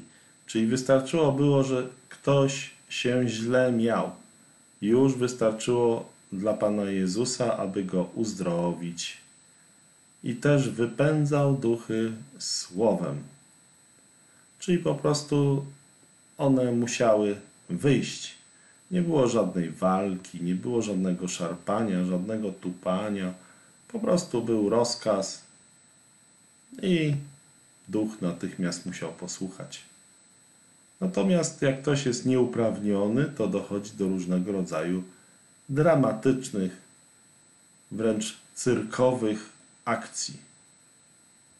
Ale to wtedy jest dowód, że mamy do czynienia z oszustem religijnym, który pozoruje to, że niby ma prawo się zajmować wypędzaniem duchami, wypędzaniem duchów. Kolejne miejsce, które pokazuje nam, że Pan Jezus uzdrawiał każdą niemoc, każdą chorobę, nawet nie była mu potrzebna wiara uzdrawianego, jest w Mateusza 9 rozdział 35 werset. I obchodził miasta wszystkie i wioski Pan Jezus, przepraszam, przeczytam dokładniej, i obchodził Jezus wszystkie miasta i wioski. Nauczał w ich synagogach i zwiastował Ewangelię o Królestwie i uzdrawiał wszelką chorobę i wszelką niemoc. I tu widzimy, że każdą chorobę i każdą niemoc Pan Jezus uzdrawiał, a ponieważ jest to oddzielone od czynności związanej z głoszeniem Ewangelii, to wiemy, że zwiastowanie Ewangelii o Królestwie to jest jedno, uzdrawianie wszelkiej choroby to jest coś innego i wszelkiej niemocy. Więc nie można tych rzeczy zawsze wiązać, dlatego że jedni zostali posłani do tego, żeby zwiastować Ewangelię i to jest bardzo ważne, żeby wiedzieć, że nie jest to powiązane. Tutaj Pan Jezus wyraźnie widzimy, robił obie te rzeczy, ale one są wymienione jako dwie rzeczy odrębne i nie są ze sobą organicznie powiązane na stałe. Czyli może być tak, że ktoś uzdrawia i wcale nie doprowadza człowieka do nawrócenia. Z kolei mamy kogoś, kto głosi Ewangelię i doprowadza kogoś do nawrócenia. Czyli widzimy, że tutaj jedno z drugim nie idzie w parze na tyle mocno, żeby można było powiedzieć, że uzdrowiony zawsze znaczy zbawiony, albo że ktoś, kto się nawrócił i uzyskał wieczne zbawienie nieutracalne, że nagle zostanie równolegle uzdrowiony. Fajnie byłoby, gdyby również po uzdrowieniu nawrócił się do Pana Jezusa, ale niestety nie zawsze tak jest. I niestety też jest możliwe, że ktoś będzie uzdrawiał i głosił Ewangelię, a nie będzie sam zbawiony. I niestety takie przykłady w historii Kościoła, udokumentowane na kartach Pisma Świętego, znamy. To jest też bardzo ważne, żeby mieć świadomość tego, że ten, kto głosi Ewangelię, sam może nie być nawrócony i także może się okazać, że ten, co uzdrawia, sam nie jest zdrowy, ale również, że sam nie jest wcale nawrócony, że jest synem piekła dwakroć gorszym niż najgorszy faryzeusz, który nie nawrócił się, a ma dar uzdrawiania od Boga ludzi w imieniu Pana Jezusa. I to trzeba umieć rozróżnić. Bo taki człowiek na wieki wieków pójdzie do jeziora ognia, jak się sam nie nawróci. I znamy takie przypadki, o których wiemy na 100%, że są w piekle, w jeziorze ognia, a oni uzdrawiali w imieniu Pana Jezusa. W imieniu Pana Jezusa wypędzali duchy i w imieniu Pana Jezusa głosili Ewangelię, choć sami byli nienawróceni i sami nie uwierzyli w Pana Jezusa Chrystusa ku ich zbawieniu. Jest takich miejsc bardzo wiele. Ja przytoczę na chwilę obecną Mateusza, 10 rozdział od pierwszego do ósmego wersetu. I przywołał dwunastu uczniów swoich i dał im moc nad duchami nieczystymi, aby je wyganiali i aby uzdrawiali każdą chorobę i każdą niemoc. A tej są imiona dwunastu apostołów. Pierwszy Szymon, którego zwano Piotrem, i Andrzej, brat jego, i Jakub, syn Zebedeusza, oraz Jan, brat jego, Filip i Bartłomiej, Tomasz i Mateusz, celnik, Jakub, syn Alfeusza i Tadeusz, Szymon Kananejczyk i Judasz Iskariot, ten, który go też wydał. Tych dwunastu posłał Jezus, rozkazując im i mówiąc: Na drogę pogan nie wkraczajcie i do miasta Samarytan nie wchodźcie, ale raczej idźcie do owiec, które zginęły z domu Izraela. A idąc głoście wieść, przybliżyło się Królestwo Niebios. Chorych uzdrawiajcie, umarłych skrzeszajcie, tędowatych oczyszczajcie, demony wyganiajcie, darmo wzięliście, darmo dawajcie. I tutaj widzimy jednoznacznie, że Judasz chorych uzdrawiał, umarłych wskrzeszał, trędowatych oczyszczał, demony wyganiał. I są to znowu, charyzmatycy często mylą na przykład wskrzeszenie umarłego z inną formą uzdrawiania, co jest błędem. Tutaj jest to jako odrębna kategoria, tak bardzo odrębna jak kwestia uwalniania od demonów, czyli wyganianie demonów to jest jedna rzecz, trędowatych oczyszczanie to jest inna rzecz, umarłych wskrzeszanie to jest inna rzecz, uzdrawianie chorych to jest inna rzecz. I są to całkowicie różne sprawy. Jak widać, oni mieli tutaj jeszcze do tego głosić Ewangelię, czyli pięć rzeczy. I te pięć rzeczy było po prostu wykonywanych również przez Judasza, który był nienawrócony, był złodziejem, był diabłem, był nazywany różnymi tego typu określeniami, które jednoznacznie wskazują, że był nienawróconym grzesznikiem, który poszedł do jeziora ognia i siarki, do piekła.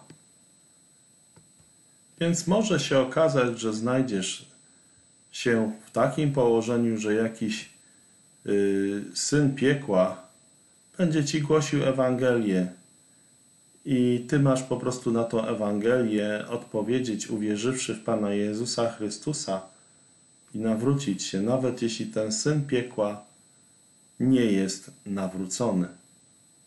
Nie przejmuj się tym, jest to po prostu łaska Boża, że usłyszałeś Ewangelię, nieważne z jakich ust. I należy po prostu pójść za Ewangelią Pana Jezusa Chrystusa, że Jezus Chrystus umarł za Twoje grzechy i zmartwychwstał i na Niego w czasie ukrzyżowania w trzech godzinach ciemności zostały włożone wszystkie Twoje grzechy. Uwierz Pana Jezusa, a jesteś wtedy zbawiony. To jest podstawa, żebyś to rozumiał. Judasz głosił Ewangelię, będąc nienawróconym. I jest to bardzo ważne, żeby to rozumieć. Jest kolejny fragment, którym możemy się zająć, gdzie widzimy, że Pan Jezus gorączkę zgromił. Niektórzy myślą, że to upoważnia ich do gromienia różnych objawów chorobowych, natomiast nigdzie nie widzimy, aby Pan Jezus tą moc gromienia y, przekazał uczniom, y, czyli żeby to był dar dla Kościoła. To jest całkowicie inna kwestia, że Pan Jezus miał takie uprawnienie, a inna, że tego uprawnienia nie oddelegował innym. Zerknijmy zatem do Łukasza, czwarty rozdział, 38 do 41 wersetu. A wyszedłszy z synagogi, wstąpił do domu Szymona, a teściowa Szymona miała wielką gorączkę i wstawiali się u niego za nią. I stanąwszy nad nią, zgromił gorączkę i ta opuściła ją i zaraz wstawszy usługiwała im. I tutaj widzimy, że gdy słońce zachodziło, wszyscy, którzy mieli u siebie chorych, złożonych różnymi chorobami, przyprowadzali ich do niego, a on zaś kładł na każdego z nich ręce i uzdrawiał ich.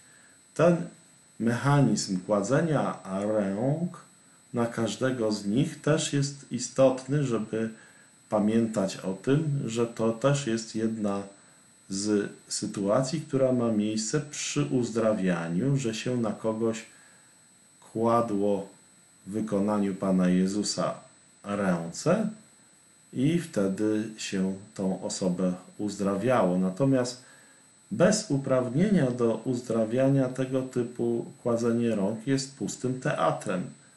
Nie należy na to takie coś sobie pozwalać, jeżeli się nie ma pewności, że ma się delegację od Pana Jezusa w celu uzdrawiania.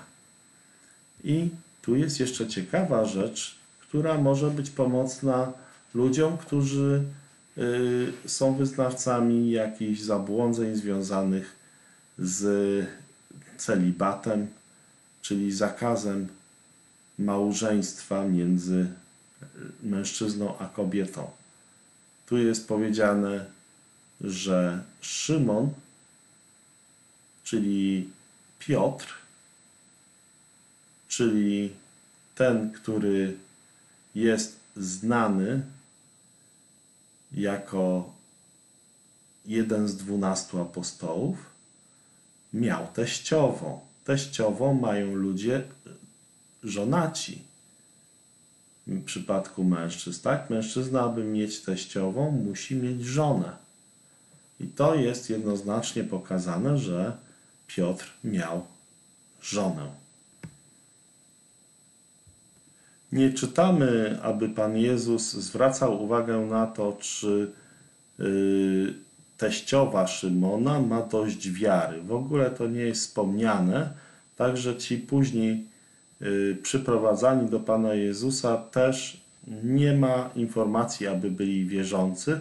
Uzdrawiany nie musi być wierzącym i nie musi wcale wierzyć w to, że zostanie uzdrowiony. Może być całkowicie negatywnie nawet, albo przynajmniej obojętnie nastawiony do procesu uzdrawiania, Ale są też miejsca, gdzie mamy sytuację, gdy inni przyprowadzają do Pana Jezusa osoby, aby je uzdrowić.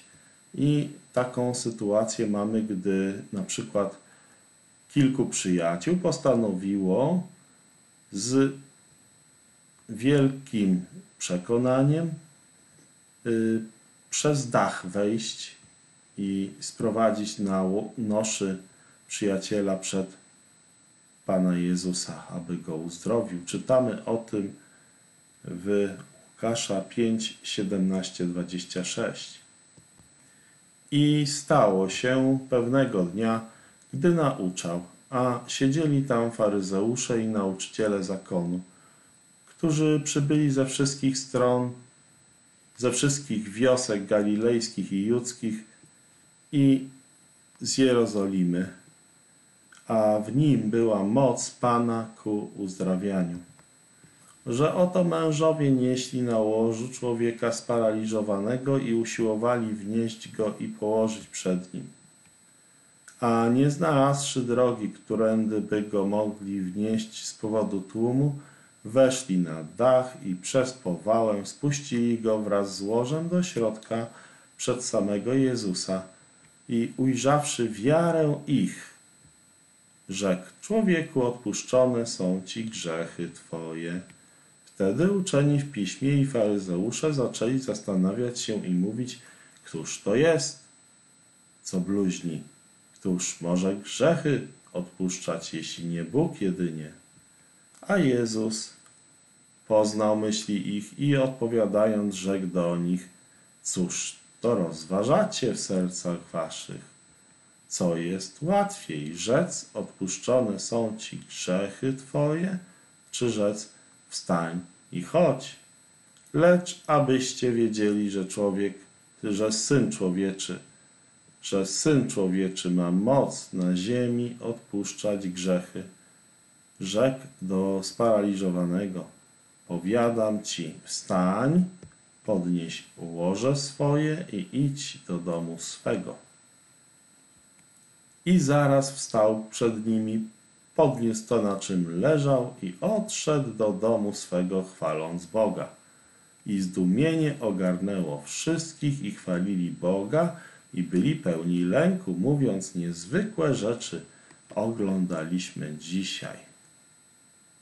Widzimy tutaj wyraźnie, że ci czterej mieli wiarę i spuścili przyjaciela przed Pana Jezusa i Pan Jezus ogłosił, że mu odpuszcza grzechy. Potem była kwestia, czy on w ogóle ma prawo odpuszczać grzechy. Oczywiście on jest Bogiem, jedynym prawdziwym Bogiem, poza którym nie ma Boga i ma prawo odpuszczać grzechy. Ludzie nie mają takiego prawa odpuszczania grzechów, jakie było dane synowi człowieczemu na ziemi, ale on to prawo miał. I co jest łatwiej zrobić? Powiedzieć, odpuszczone są ci grzechy, czy powiedzieć, że jest uzdrowionym? Jedno i drugie łatwo jest powiedzieć, tak? Ale zrobić to jest inna rzecz.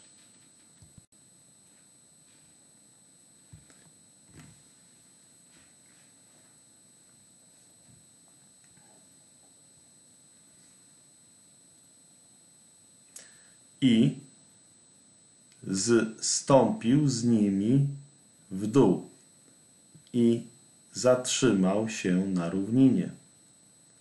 Również liczne rzesze uczniów jego i wielkie mnóstwo ludu z całej Judei i Jerozolimy i z nad morza, z Tyru i Sydonu, którzy przybyli, aby go słuchać i dać się wyleczyć ze swych chorób.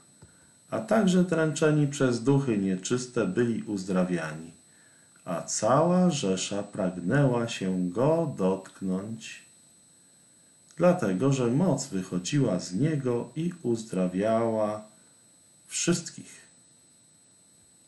Czyli widzimy te punkty. Uzdrawiała wszystkich. I też widzimy, że odrębną rzeczą jest wypędzanie demonów, duchów nieczystych i odrębno jest uzdrawianie. Choć oczywiście tutaj widać, że współistniejąco mogło być opętanie i kwestia jakiejś choroby, gdyż osiemnasty werset mówi dręczeni przez duchy nieczyste byli uzdrawiani.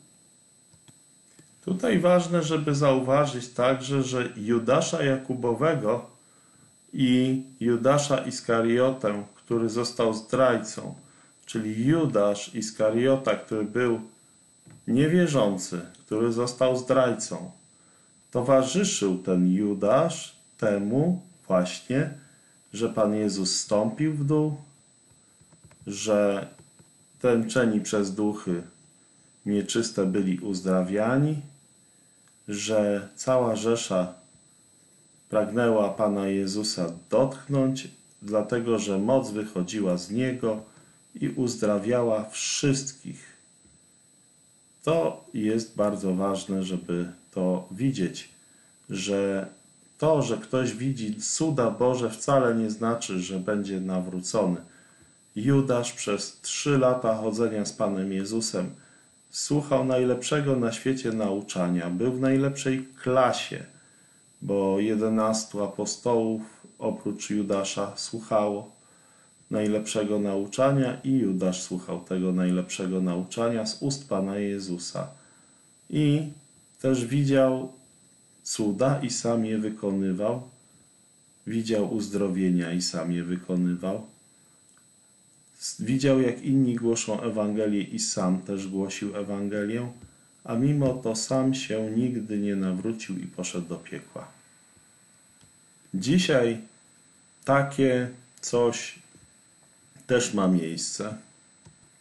Bardzo wielu tych, którzy głoszą Ewangelię, sami są nienawróceni. Bardzo wielu tych, którzy uzdrawiają, sami są nienawróceni, idą do piekła. Czynią wiele rzeczy w imieniu Pana Jezusa, choć sami nie są niczym lepszym niż synami piekła, dwakroć gorszymi niż najgorszy syn piekła. Więc tego typu sytuacje mamy.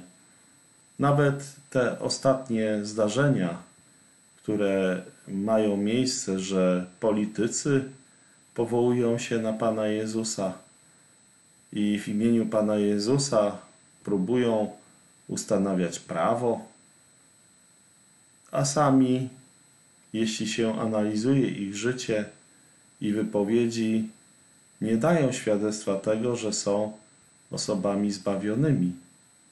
Są też tacy, którzy wykorzystują sytuację, podszywając się pod pracowników Chrystusowych, po to, aby realizować ich żądze, czy to polityczne, czy też seksualne, czy też demoralizujące, czy też zachęcające do sektarianizmu, czy też tworzące różnego rodzaju denominacje. I są to ludzie niezbawieni, bo tak czytamy w Słowie Bożym, ale głoszą w imieniu Jezusa, ale w imieniu Jezusa uzdrawiają, choć Pan Jezus w dniu sądu wielu z nich powie: Nigdy was nie znałem, idźcie precz ode mnie. Wy, którzy czynicie rzeczy, do których nie dałem wam prawa. Kolejne miejsce, które weźmiemy pod uwagę, to jest Łukasza, 9 rozdział od drugiego wersetu. I to jest fragment, który jednoznacznie pokazuje nam, że zwoławszy dwunastu, dał im moc i władzę nad wszystkimi demonami i moc uzdrawiania chorób. Czyli wśród tych dwunastu był Judasz. I posłał ich, aby głosili Królestwo Boże i uzdrawiali. Zatem Judasz głosił Królestwo Boże i uzdrawiał. A co najmniej był w tym celu posłany i towarzyszył tym, którzy to robili. I rzekł do nich Pan Jezus: Niczego nie zabierajcie na drogę, ani kija, ani torby, ani chleba, ani pieniędzy, ani dwóch szat. Gdy do którego domu wejdziecie, tam pozostańcie i stamtąd wychodźcie. A na tych, którzy was nie przyjmą, wychodząc z tego miasta, strząśnijcie proch z nóg waszych na świadectwo przeciwko nim. I wyszedłszy więc, obchodzili wioski, zwiastując dobrą nowinę i wszędzie uzdrawiając. Zatem, jeśli przyjdzie do ciebie Judasz, głosząc Ewangelię, to uwierz Ewangelii, ale od Judasza się odseparuj. Także do innych, i tutaj są różnice w tłumaczeniu. Jedne tłumaczenia podają 72, a drugich podają innych 70. Słowo inny znaczy drugi, drugi znaczy inny w oryginale w Grece i stąd może być ta rozbieżność w tłumaczeniu. Nie jest to błąd w oryginale, bo oryginał jest natchniony, jest to błąd tłumaczy, którzy nie potrafią rozstrzygnąć, czy chcą to miejsce tłumaczyć jako 70, czy jako 72. I tych 70 lub 72, w zależności od przekładu, dostało polecenie, aby uzdrawiać w nim chorych i mówić do nich, przybliżyło się do Was Królestwo Boże. Czyli także mieli takie poselstwo i ewangeliczne, i uzdrawiające.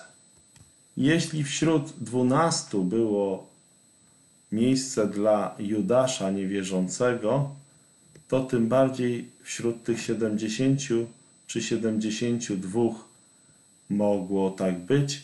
Jeśli y, użylibyśmy 70, to nawiązuje to do 70 starszych z czasów Mojżesza, gdzie było 70 i tych 70 nie wiadomo, czy byli wierzący, czy niewierzący, raczej byli niewierzący, bo ich ciała zaległy na pustyni jako niewierzących, niezbawionych ludzi, którzy po prostu yy, zgrzeszyli w sposób taki, że nie uwierzyli świadectwu dwóch wiernych świadków na temat Kanaanu, tylko uwierzyli kłamstwu pozostałych ośmiu. A jeśli mówimy o tym nawiązaniu do 70 ze Starego Testamentu, z czasów Mojżesza, no to wtedy tych uczniów innych 70 powinno być traktowane jako tłumaczenie prawidłowe tego miejsca.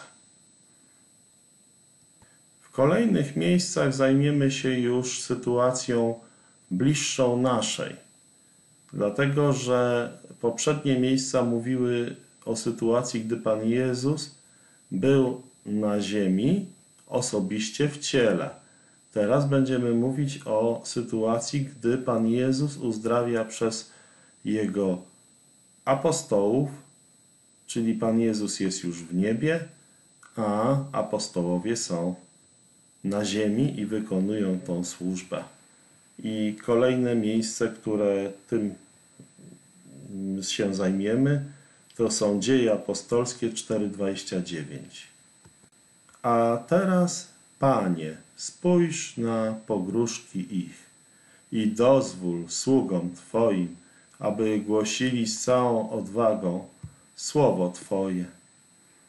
Gdy Ty wyciągasz rękę, aby uzdrawiać i aby się działy znaki i cuda przez imię świętego Syna Twego Jezusa, Czyli widzimy jednoznacznie, że tutaj uczniowie, modląc się, wskazują na to, że oni są przede wszystkim odgłoszenia Słowa Bożego z całą odwagą, a to Pan Jezus albo Bóg generalnie wyciąga rękę, aby uzdrawiać i aby się działy znaki i cuda przez imię świętego Syna Bożego Jezusa. To jest dosyć ciekawe rozróżnienie, że to Pan Jezus uzdrawia, Bóg uzdrawia, a nie uzdrawia uczeń. I kolejne miejsce, które nam to zilustruje, to sytuacja Eneasza w wykonaniu tutaj posługi apostoła Piotra. To widzimy w dziejach apostolskich, 9 rozdział, 33 werset. Tam spotkał pewnego człowieka imieniem Eneasz, który był sparaliżowany i leżał od ośmiu lat na łożu. I rzekł mu Piotr, Eneaszu, uzdrawia cię Jezus Chrystus. Wstań i pościel sobie łoże. I zaraz wstał. I widzieli go wszyscy mieszkańcy Lyddy i Saronu, którzy też nawrócili się do Pana. Czyli widzimy, nawrócili się do Pana w wyniku tego uzdrowienia. Uzdrowienia na Eneaszu dokonał Pan Jezus Chrystus. Nie dokonał tego uzdrowienia Piotr, a Pan Jezus Chrystus. I nie widać było, aby była mowa o tym, że Eneasz miał mieć wiarę. Najpierw został uzdrowiony Eneasz. W ogóle nie mamy wiedzy, czy był wierzący, czy nie był wierzący. Prawdopodobnie nie ma co na siłę z niego robić wierzącego. Wierzącymi stali się ludzie, którzy zobaczyli to. A sam Eneasz, no nie wiemy, czy się nawrócił. Nie ma takiej informacji. Został uzdrowiony z paraliżu i prawdopodobnie również nawrócił się, jeśli był mieszkańcem Lyddy i Saronu, ale no nie ma tej gwarancji, że był takim mieszkańcem i w tym słowie wszyscy, y, którzy się nawrócili. Zresztą tu jest takie rozróżnienie, że widzieli go wszyscy mieszkańcy Lyddy i Saronu. Byłoby to najsmutniejsze, gdyby właśnie ktoś uzdrowiony nie skorzystał z tego, aby się nawrócić, aby pójść za Panem Jezusem. No widzieliśmy generalnie dziesięciu trędowatych, z których tylko jeden się zawrócił, żeby uwielbić Pana Jezusa. Pozostali niewzruszeni poszli i już do Pana Jezusa nie wrócili, przynajmniej w tym, co jest opisane. Obrazowo to może pokazać osoby, które nie nawróciły się mimo tego, że zostały uleczone.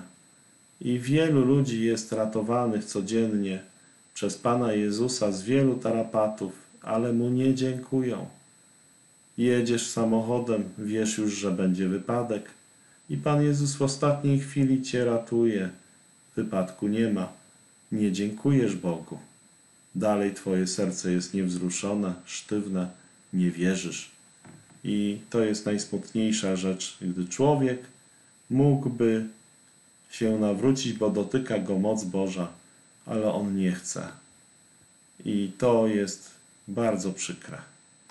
Kolejne miejsce, co prawda, jest w dziejach, ale dotyczy służby Pana Jezusa i ona jest przedstawiona jako taka, gdzie tych, którzy byli związani przez diabła, Pan Jezus uwalniał. I to jest bardzo ciekawe, że gdy Pan Jezus chodził w ciele, jest on przedstawiony jako ten, który więzy diabelskie rozwiązywał. Czytamy o tym w dziejach apostolskich 10:38.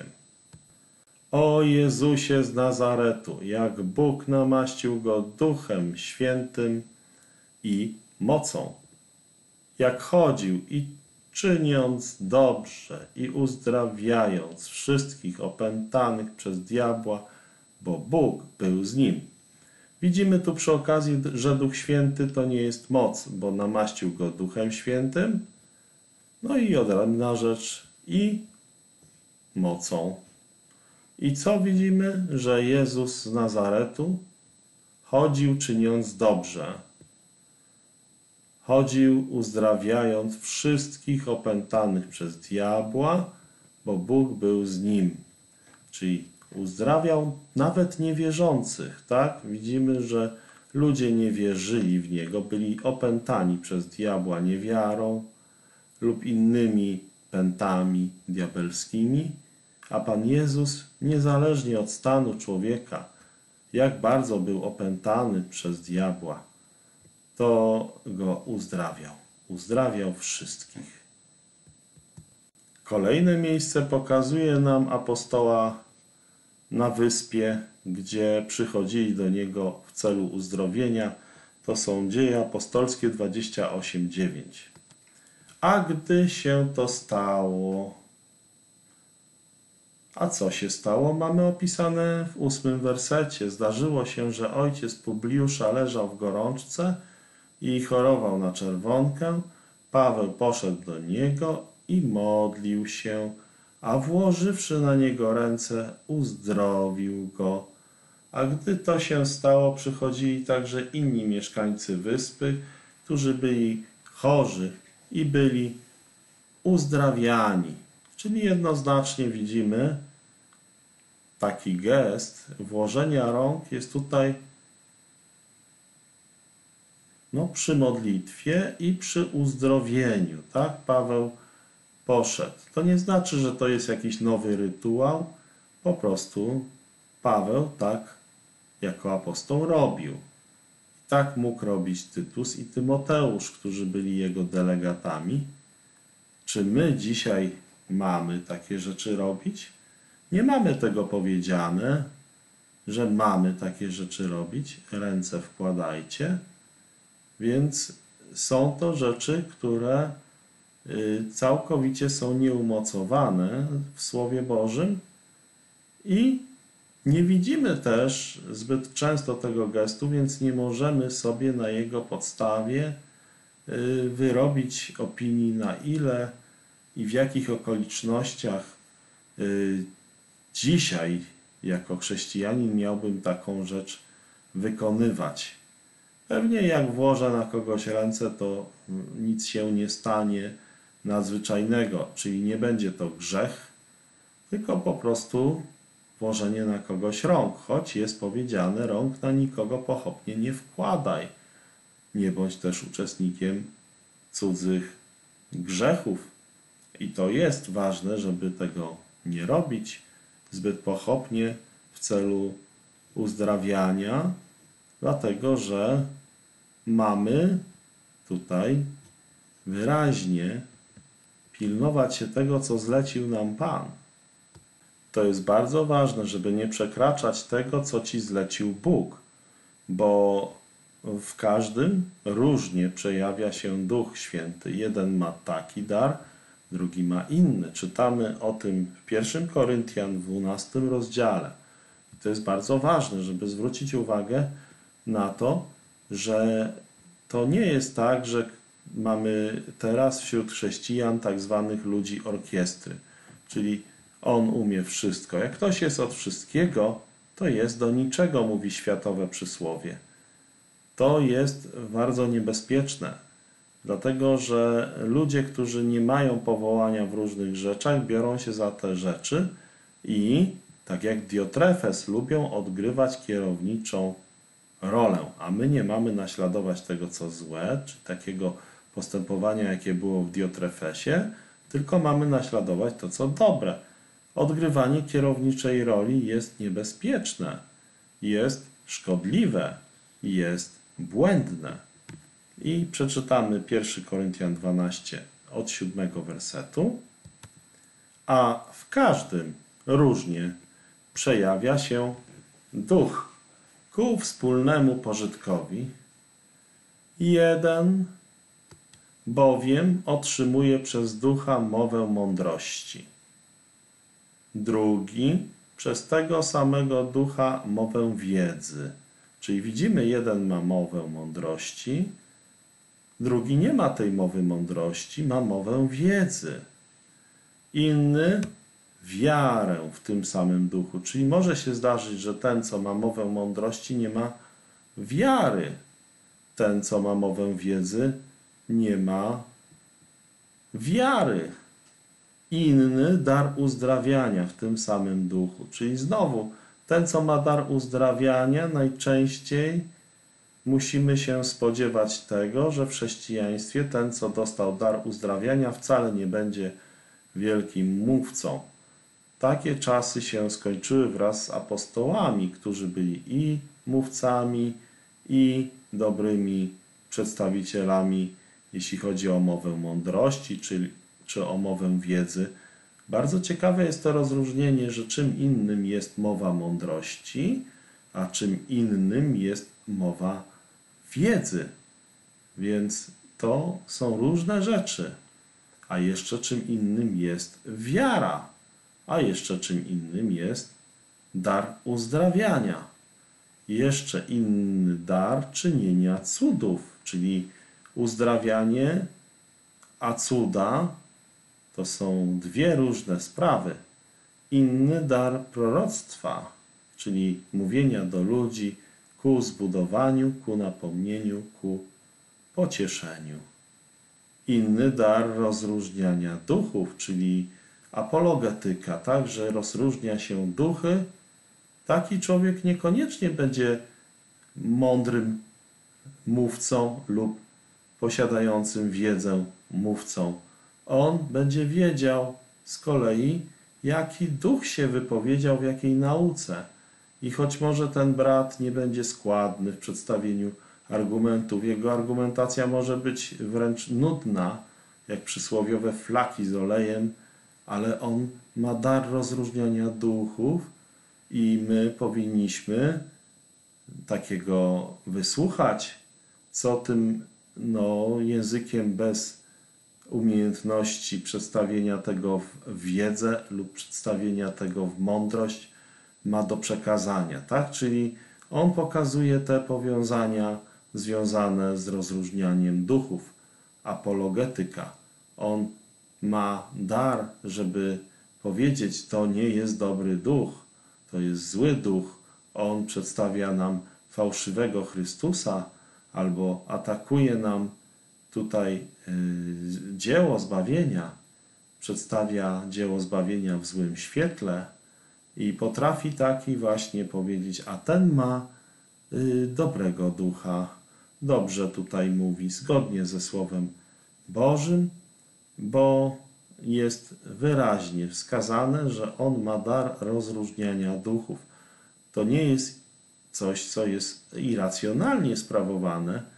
Ten człowiek, który ma dar rozróżniania duchów, musi umieć zakomunikować, dlaczego dany duch jest dobry, dlaczego dany duch jest zły. Więc to jest bardzo ważne. Inny z kolei różne rodzaje języków. Więc umie po niemiecku, po francusku, po angielsku.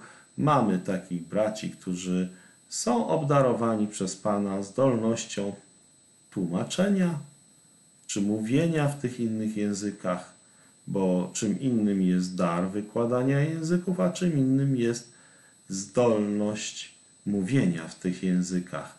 Czyli wykorzystujemy tych, którzy mają możliwość mówienia w innych językach do na przykład kontaktów między wierzącymi. Natomiast on sam nie musi umieć tłumaczyć, tak? Czyli pojedzie na przykład do Stanów, powie kazanie po angielsku i wierzący w Stanach się zbudują, ale on ma różne języki, a z kolei nie ma daru wykładania tego języka, czyli poprosiłbyś go, żeby przetłumaczył. No jakoś to zrobi, tak, bo zna język, ale nie będzie to duchowy wykład języka, tak żeby złapać duchowe sedno. Nieraz słyszałem takie tłumaczenie, które było wykonane przez kochanego brata, który świetnie władał obcym językiem, ale nie miał daru wykładania języku, bo miał dar różnych języków. I z kolei też słyszałem wypowiedzi braci, którzy mają dar wykładania języków, ale nie są nauczycielami, nie mieli daru języków innych i po tym niemiecku próbowali tam powiedzieć jakieś budujące niemieckich wierzących czy angielskojęzycznych wierzących słowa, będąc Polakami, więc mieli dar wykładania języków, więc ten język również znali, ale niestety nie mieli daru przemawiania w tym obcym języku. To są bardzo ważne rozróżnienia i ważne jest, żeby zauważyć, że tu jest słowo inny, inny, inny. Bóg chce obdarować cały zbór. Bóg chce, żeby każdy ze zborowników był potrzebny, inny, inny, inny. Nie jest tak, że ktoś nie ma daru, a inny ma darów więcej niż jeden.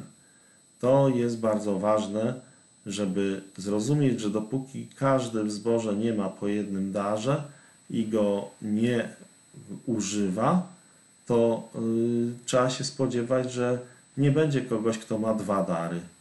Może są takie osoby, które mają dwa dary, chociaż tu wyraźnie jest nacisk położony na słowo inny, inny, inny, inny, inny, inny.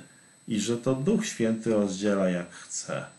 Więc jeżeli ktoś, kto nie ma daru, wykonuje jakąś służbę, powinno się modlić, aby zastąpił go jak najszybciej ktoś, kto ma dar. Tak? Czyli jeżeli ktoś zna język obcy i tłumaczy, ale nie ma daru wykładania języków i nie ma daru różnych języków, ale po prostu jakoś tam poskleca tą wypowiedź w tym obcym języku, może też wyłoży ten język, y, jak przyjedzie brat z Niemiec mówiący po niemiecku, trzeba go przetłumaczyć na polski, więc ma dar wykładania języków, a potem z sali padnie pytanie po polsku i ten brat y, zostanie poinformowany w jego języku niemieckim przez brata, który ma dar wykładania języków, co było zadane z sali. Ale jeżeli on tego daru wykładania języków nie ma, też jakoś sobie może poradzić, ale to nie będzie miało pełnej wartości duchowej, jak gdyby wykonywał to brat, który taki dar ma. Więc ci, którzy mają takie dary, yy, no, są dani całemu Kościołowi, zwłaszcza lokalnemu, w którym są umiejscowieni przez Boga. Wszystko to zaś sprawia jeden i ten sam duch, rozdzielając każdemu poszczególnie, jak chce. Widzimy to? Rozdziela każdemu poszczególnie, jak chce, a nie jednemu z wybranych. Więc to jest ważne, że każdemu poszczególnie. To jest ważna nauka, zapomniana we współczesnym chrześcijaństwie. Dzisiaj mamy różnych takich, którzy podają się za po prostu ludzi orkiestry, że są od wszystkiego. Nie ma takich ludzi. Nie ma. Rozpoznaj dar, jaki otrzymałeś od Pana i go pielęgnuj, i go wykonuj. Ten jeden dar.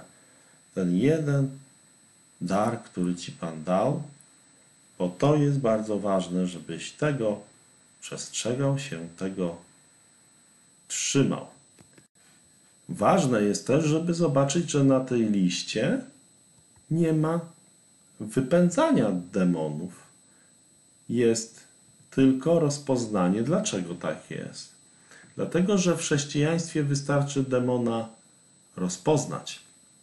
Wystarczy go rozróżnić i jak się już go rozróżni, to wierzący mają się po prostu oddzielić od wpływu tego ducha, bo w wierzących nie ma duchów.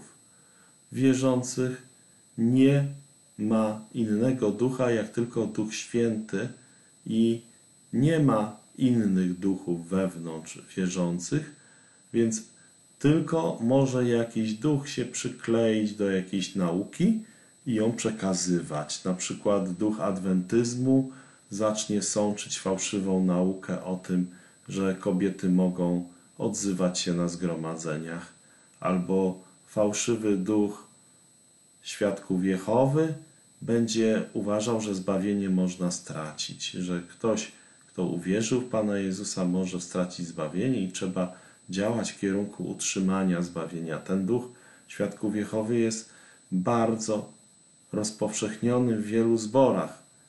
I to nie tylko tych, gdzie są byli świadkowie Jehowy, ale możliwe, że to też ma związek, że część z tych ludzi wcale się nie nawróciła, tylko opuściła szeregi świadków Jehowy, a ponieważ są już religijnie wytrenowani, to chcieliby w jakichś kręgach chrześcijańskich się obracać, przez co trafiają do różnych zborów, czy to zborów ludzi niewierzących czy wierzących, i tam swoje nauki dalej sączą. I kolejne miejsce to jest 1 Koryntian 12:28.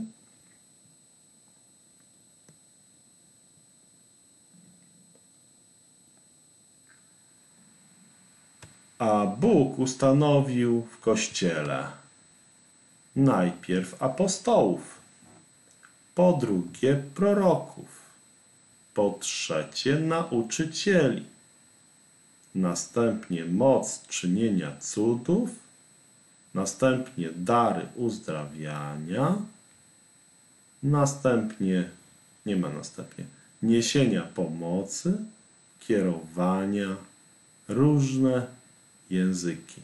Czyli znowu na tej liście nie ma wypędzania demonów. Czyli co jest? Mamy apostołów, których już dzisiaj nie ma. Ostatni apostoł, jak zamknął oczy, to już się zakończyła służba apostołów. Po drugie, proroków czyli taki prorok na przykład jak Łukasz. Chrześcijańscy prorocy spisali Nowy Testament, nie byli to apostołowie, ale byli to prorocy.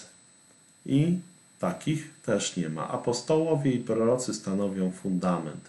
Na fundamencie apostołów i proroków. I ten fundament już ma pieczęć na sobie, zna Pan tych, którzy są Jego. I niech odstąpi od niesprawiedliwości każdy, kto wzywa imienia Pańskiego. Tak? I po trzecie, nauczycieli. Nauczyciele dzisiaj są, czyli ci, którzy są podarowani zborowi, kościołowi, jako ci, którzy są nauczycielami. Czyli to są dary ludzie. Tak? Poprzednio były dary jako czynności, a teraz są dane, dane, dane przykłady dary ludzi. Czyli ci ludzie jak apostoł, ci ludzie jak prorok, ci ludzie jak nauczycieli, jak nauczyciele. Następnie moc czynienia cudów, i tu już nie jest człowiek, tylko zdolność do czynienia cudów. Potem dary uzdrawiania, czyli mamy możliwość, że ktoś będzie miał dar uzdrawiania. I potem mamy kogoś uzdolnionego do niesienia pomocy. I z wcześniejszego fragmentu widzieliśmy, że to nie są te same osoby. Czyli jedna osoba jest dobrym nauczycielem, inna osoba ma moc czynienia cudów, inna osoba ma dar uzdrawiania, inna osoba ma dar niesienia pomocy. Więc nie dziw się temu, że ten brat czy siostra, który tak pięknie ci dar pomocy uzewnętrznił, że nie dostaniesz od niego e, klarownego wskazania w sprawie jakiejś doktrynalnej odpowiedzi. Nie obrażaj się na brata, który jest z kolei obdarowany w tym, że naucza że jest nauczycielem podarowanym Kościołowi, że on z kolei jest kompletnie niezorientowany, jak ci pomóc, albo w, sprawach kierowania zborem jest kompletnie niezorientowany. On przedstawi ci naukę biblijną, jak należy kierować zborem, ale jako ten, który miałby podejmować jakieś decyzje, może mieć całkowicie nietrafione propozycje i pomysły i nie należy z niego robić od razu kogoś, kto by miał ten dar kierowania.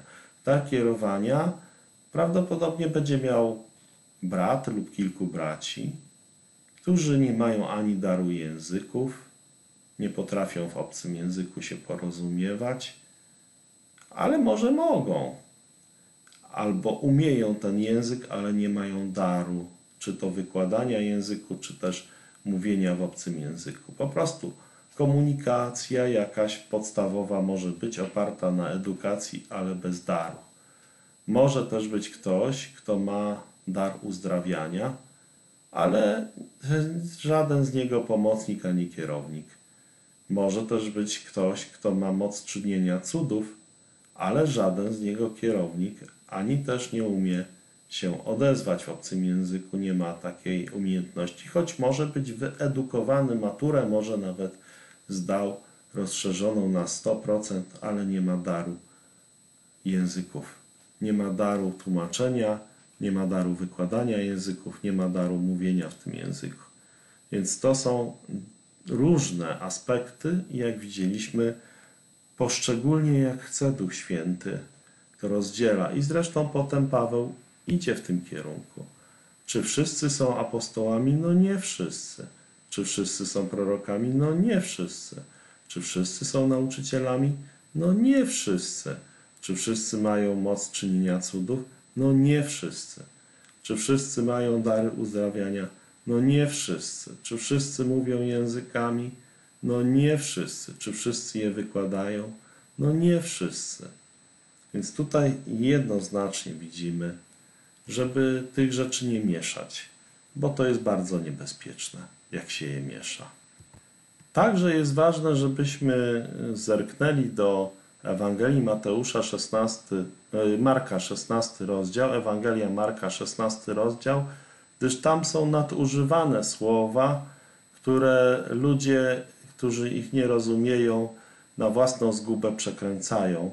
Więc zerknijmy w to miejsce, gdyż jest to bardzo nadużywane miejsce.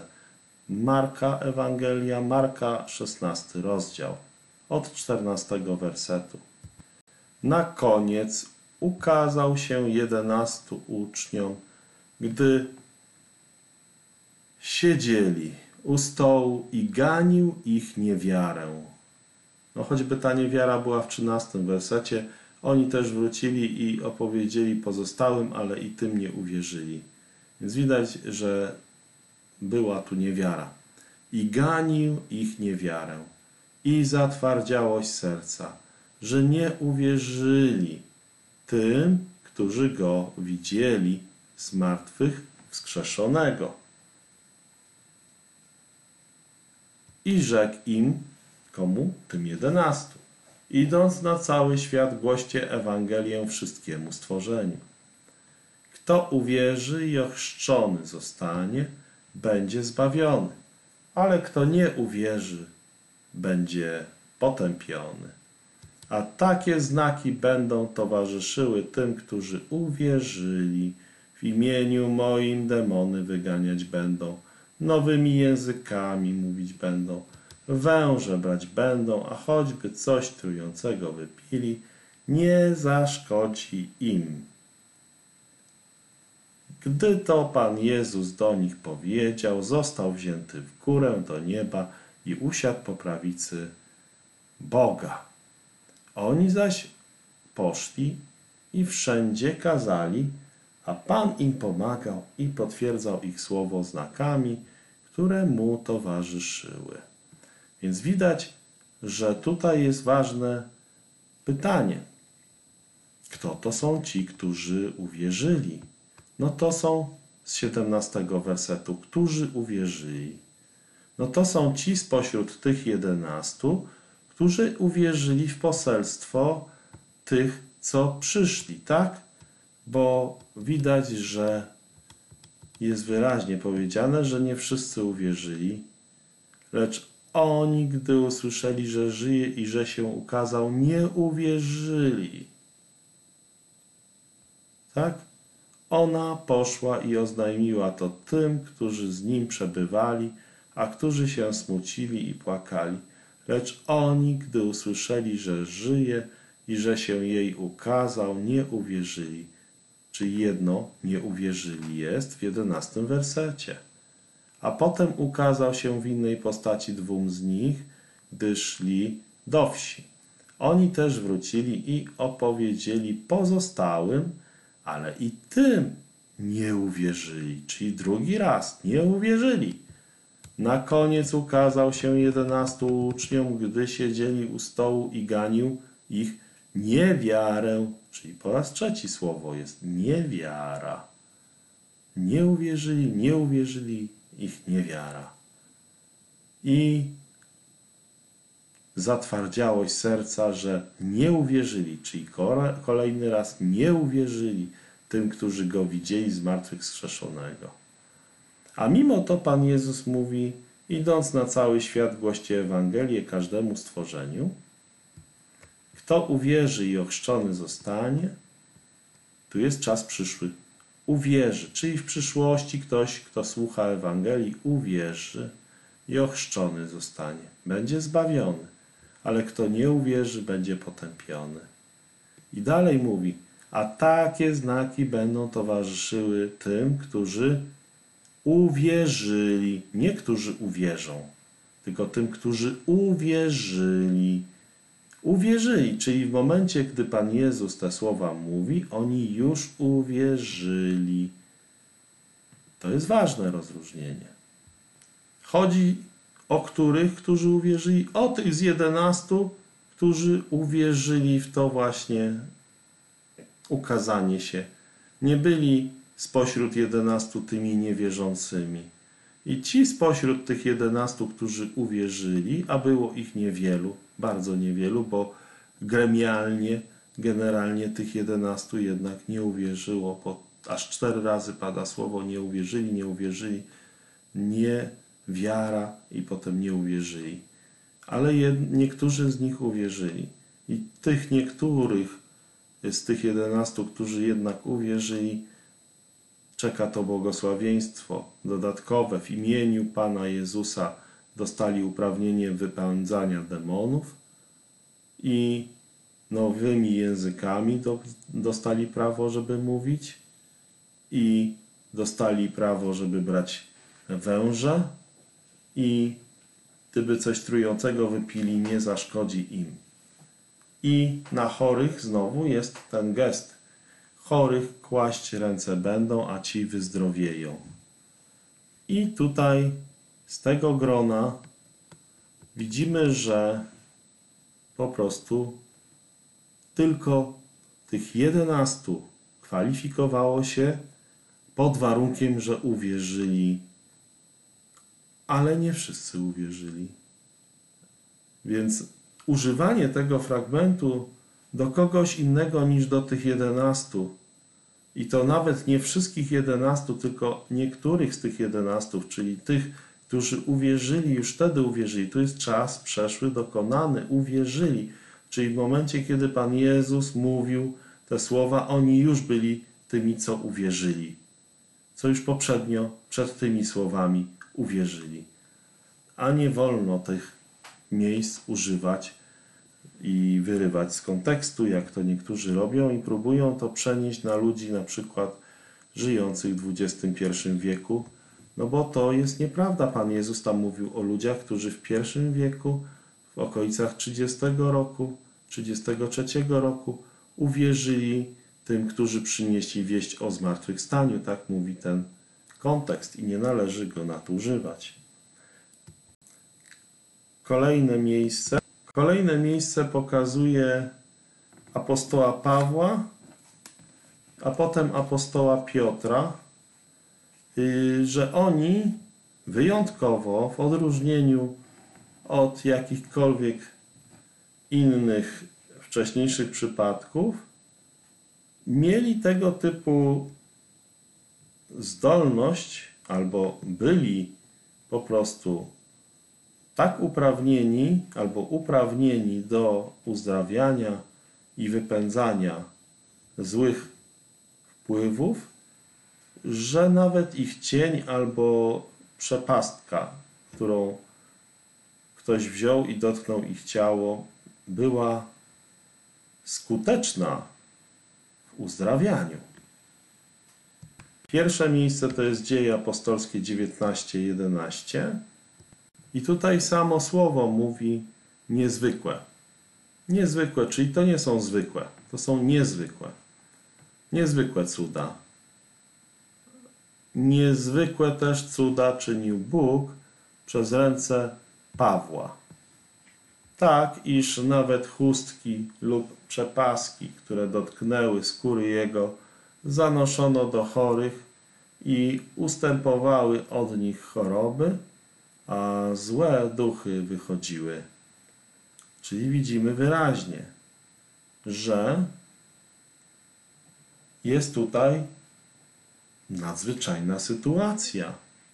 Jakaś chustka lub przepaska.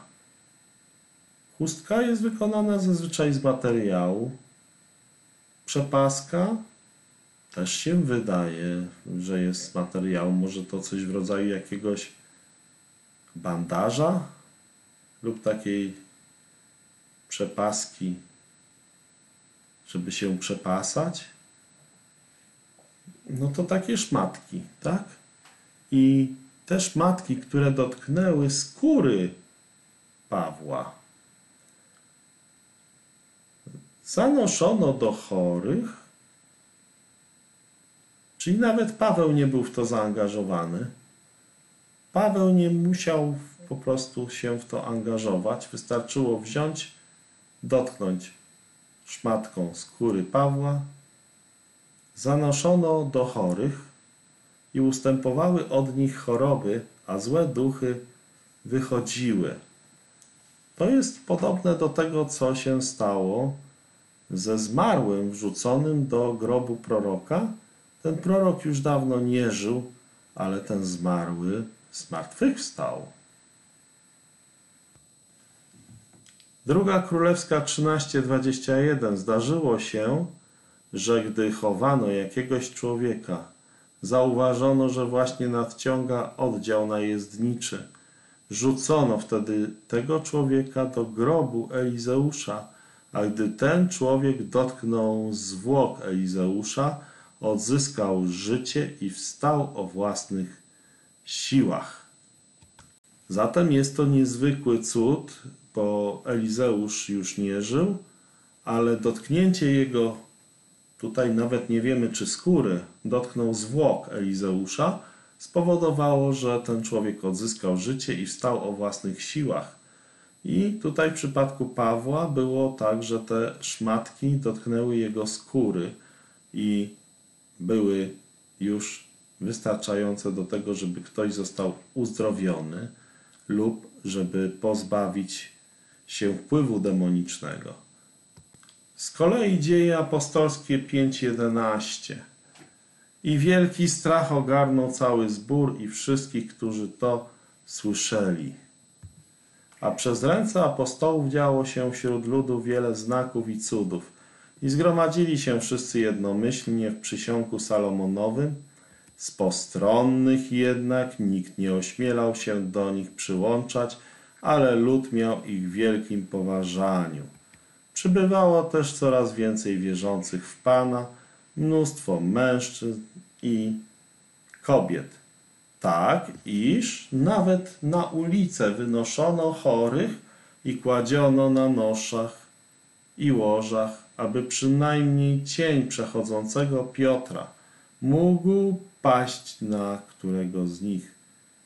Również z okolicznych miast Jerozolimy schodziło się wielu, przynosząc chorych i dręczonych przez duchy nieczyste, i wszyscy oni zostali uzdrowieni. Czyli widzimy jednoznacznie, że jest tutaj pokazane, że ten, kto miał prawo uzdrawiać, wypędzać demony, to jego cień wystarczy. Tak, czyli nie musiał wierzyć ten człowiek, na którego cień Piotra spadł. A jest jeszcze tutaj ciekawa rzecz. Z postronnych jednak nikt nie ośmielał się do nich przyłączać, czyli z postronnych ludzi nikt nie przychodził wtedy jeszcze do zboru, czyli, czyli w zborze byli tylko sami swoich, sami wierzący, sami chrześcijanie. Nie było tam chrześcijan z nazwy, tylko byli chrześcijanie z istoty, czyli prawdziwi chrześcijanie, rzeczywiści ludzie w Chrystusie. Ale lud miał ich w wielkim poważaniu. I tutaj jest bardzo ciekawa rzecz. Lud miał ich w wielkim poważaniu. I z tym jest powiązany na przykład autorytet biskupa starszego. Mamy o tym wspomniane. Pierwszy Tymoteusza, trzeci rozdział, pierwszy werset. Prawdziwa to mowa, kto o biskupstwo się ubiega, pięknej pracy pragnie. Biskup ma zaś, zaś ma być nienaganny mąż jednej żony, trzeźwy, umiarkowany, przyzwoity, gościnny, dobry nauczyciel, nie oddający się pijaństwu, nie zadzierzysty, lecz łagodny, nieswarliwy, niechciwy na grosz, który by własnym domem dobrze zarządzał, dzieci trzymał w posłuszeństwie i wszelkiej uczciwości, bo jeżeli ktoś nie potrafi własnym domem zarządzać, jakże będzie mógł mieć na pieczy Kościół Boży? Nie może to być dopiero co nawrócony, gdyż mógłby się zbić w pychę i popaść w potępienie diabelskie, a powinien też cieszyć się dobrym imieniem u tych, którzy do nas nie należą, aby nie narazić się na zarzuty i nie popaść w sidła diabelskie. Czyli wyraźnie widzimy, chciałbym tu zwrócić uwagę na siódmy werset, że ma taki człowiek, powinien taki człowiek cieszyć się dobrym imieniem u tych, którzy nie należą do tego zboru, w którym ten człowiek ma być starszym, tak? Czyli pastorem, czy biskupem, zależy jak to nazwiemy. Czyli ma cieszyć się dobrym imieniem u tych, którzy są spoza zboru. Wyraźnie jest to powiedziane. I w tamtym czasie, w dziejach apostolskich, piąty rozdział, widzieliśmy, że lud miał w wielkim poważaniu chrześcijan. Nikt się do chrześcijan postronny nie przyłączał. Ale dzisiaj Nikt nie ma w poważaniu tych błaznów, którzy udają pastorów, dlatego że dzisiaj pastorów nie ma. To się już skończyło w dziejach apostolskich, 20 rozdział. Paweł powiedział, że po jego odejściu już nie będzie ordynacji, nie będzie już ordynowanych starszych. Powiedział, że po moim odejściu nawet spośród was samych powstaną mężowie mówiący rzeczy przewrotne, aby uczniów pociągnąć za sobą. Jednoznacznie było widać, bo jedyne wyznaczanie pastorów, czyli biskupów, czy starszych, zależy jak ich sobie nazwiemy, czy y, jak wolisz księży, y, to już jest niebiblijne nazewnictwo i pastorzy i księży, bo takowych w Biblii nie ma, ale y, tutaj stosowane są te zasady do wyznaczania właśnie z pierwszego do Tymoteusza, ale niestety nie całe, tylko właśnie z pominięciem tych Y, drażliwych kwestii. Y, ustanawia się pastorami pierwszych lepszych z ludzi, w zależności od tego, kto przyniesie tłustszą jałówkę, jak za Jeroboama. Nie robi się tego według klucza biblijnego, tylko według widzi mi się i tutaj przecież jest wyraźnie powiedziane, że to ma być dobry nauczyciel, czyli on nie tylko ma mieć, być nauczycielem, ale dobrym nauczycielem. Nie może to być ktoś bez zdolności nauczania. To musi być dobry nauczyciel.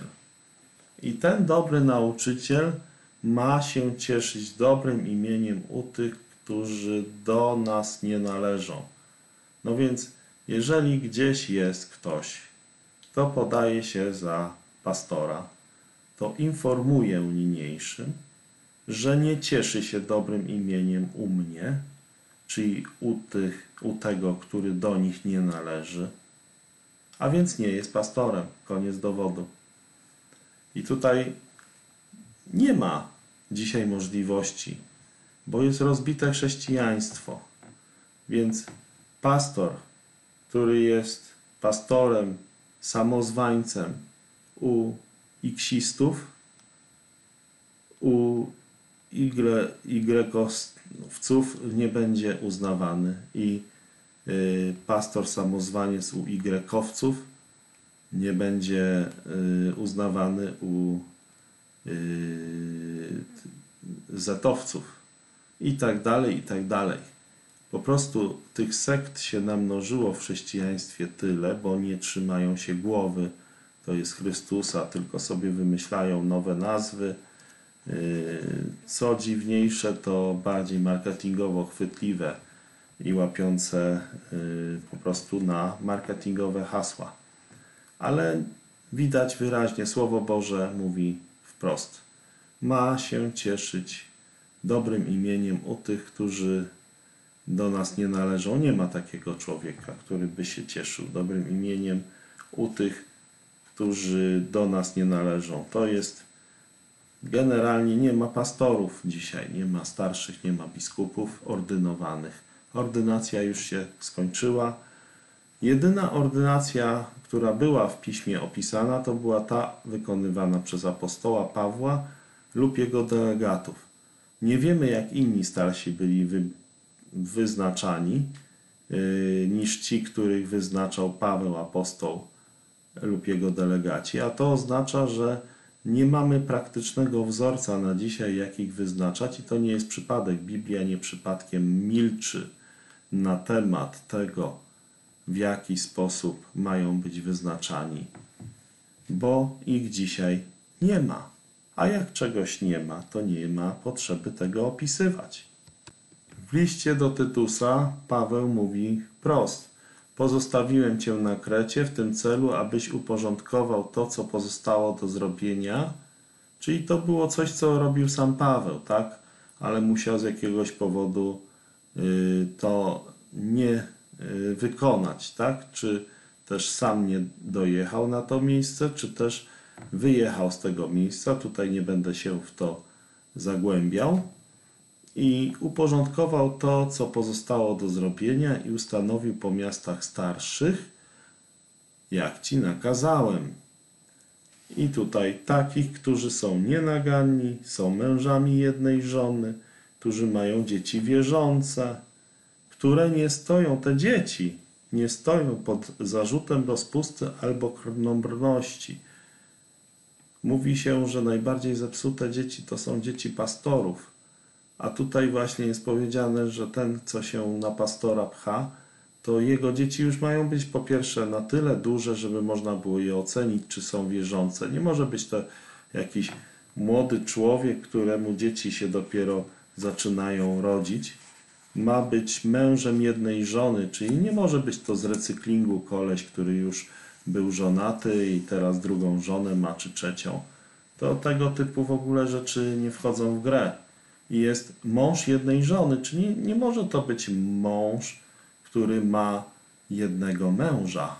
Tak? Czyli tutaj odpadają różnego rodzaju inne kombinacje. To jest po prostu wyznaczone, że on ma być mężem jednej żony, który ma dzieci wierzące, tak? Czyli ma wierzące dzieci. Liczba mnoga dzieci, czyli co najmniej dwójkę musi posiadać dzieci. Jeśli Bóg mu odmówił dzieci, nie jest to żaden starszy, tylko jest to po prostu i człowiek, który starszym nie jest. I nie może być. Nawet gdyby ordynacja dzisiaj istniała, to nie jest, nie może być starszym, bo warunek jest sztywny, dzieci.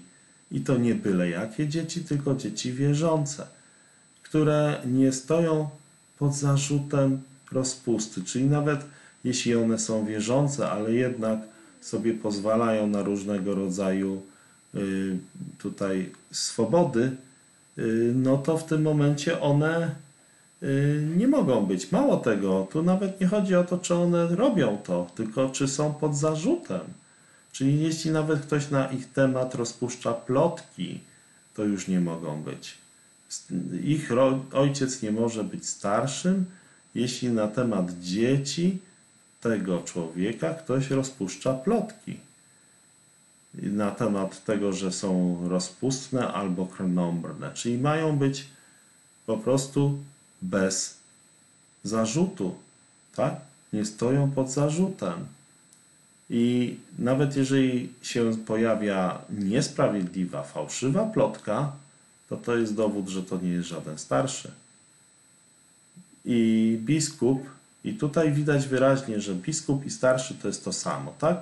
Bo jest powiedziane, zostawiłem cię na Krecie w tym celu, abyś uporządkował to, co pozostało do zrobienia, ustanowi po miastach starszych, dwukropek, takich, którzy, i potem uzasadnienie biskup bowiem, jako włodarz Boży, powinien być nienaganny, niesamowolny, nieskory do gniewu, nie oddający się pijaństwu, nieporywczy, niechciwy brudnego zysku, ale gościnny, zamiłowany w tym, co dobre, roztropny, sprawiedliwy, pobożny, wstrzemięźliwy, trzymający się prawowiernej nauki, aby mógł zarówno udzielać napomnień w słowach zdrowej nauki, jak też dawać odpór tym, którzy się jej przeciwstawiają. Więc widzimy wyraźnie, że to ma być ktoś, kto ma dar nauczania, jest to nauczyciel i to nauczyciel, który ma zdolność takiego po prostu twardego stania po stronie prawdy. Czyli jest to człowiek, który nie tylko ma dar nauczania, ale również ma dzieci, na które nikt nie plotkuje. Jeżeli na jego dzieci ktoś plotkuje, no to to nie jest biskup, to nie jest starszy, to nie jest nikt inny jak tylko jakiś dowcipniś religijny.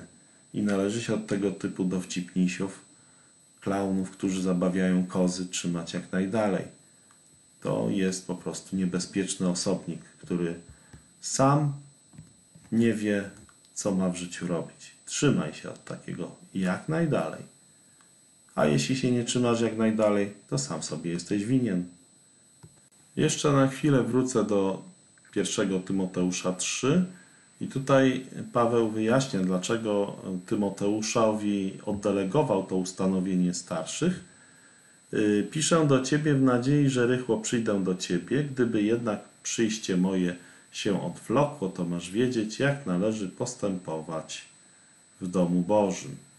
Czyli widać, że to było tylko tymczasowe, chwilowe ustanowienie yy, po prostu na czas nieobecności Pawła, tylko na czas, gdyby jego przyjście się odwlokło. Gdyby się nie odwlokło, to Tymoteusz nie miał w ten sposób wyznaczać starszych, po prostu zrobiłby to sam Paweł. Tak wynika z tych słów. I nie ma powodu, żeby y, teraz y, prywatną korespondencję z czasów I wieku, gdzie są wyraźnie określone kryteria, próbować po pierwsze sfałszować, uchylając niektóre z wymagań, tak, że to nie mogą być dzieci, nikt nie może plotkować na dzieci, no to jest bardzo wysokie wymaganie, tak? albo że y, nikt nie może plotkować na tego, co się za pastora podaje. Nieważne, czy to są prawdziwe zarzuty, czy zmyślone.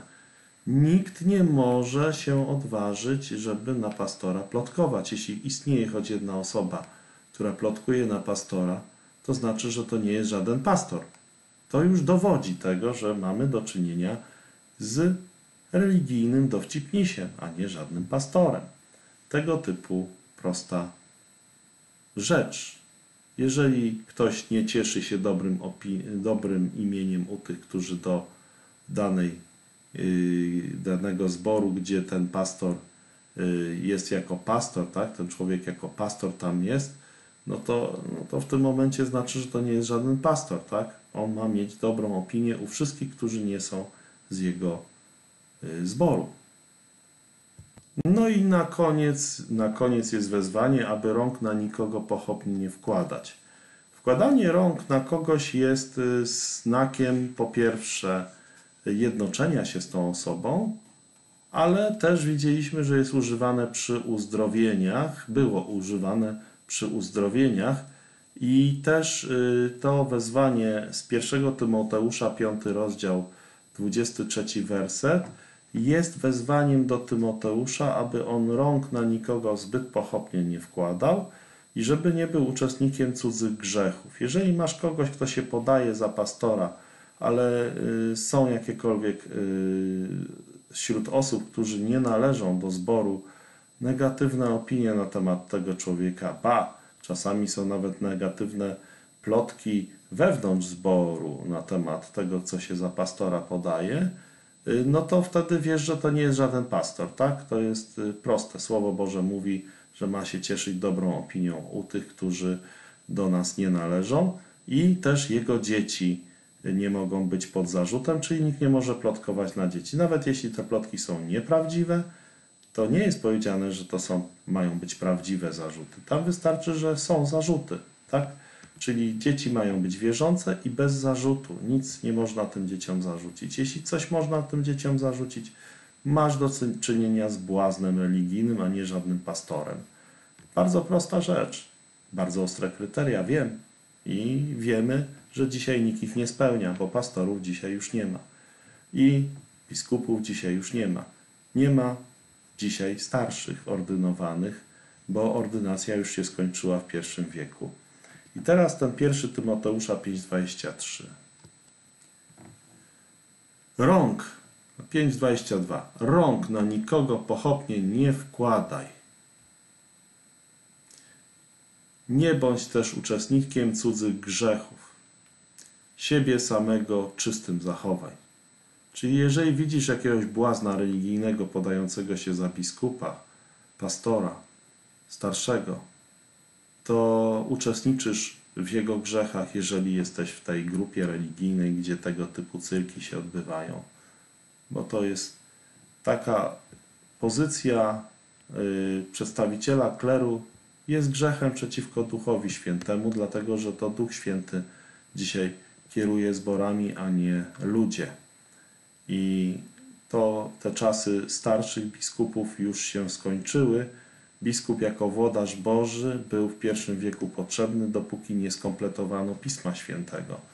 Ale dzisiaj mamy już skompletowane Pismo Święte, już ono było skompletowane przed odejściem Pawła i to jest właśnie ten punkt, który rozróżnia ten czas. Ale tak samo jak są zwodziciele, którzy twierdzą dzisiaj, że no, niektóre y, rzeczy, które już ustały, na przykład wypędzanie demonów, że potrafią robić, mimo że nie widzimy, aby umiejętność wypędzania demonów była jakoś w pierwszym liście do Koryntian 12 rozdział wymieniona wśród obdarowań. Więc teraz dalej mamy ten 22. Nie uczestnicz w czyichś grzechach.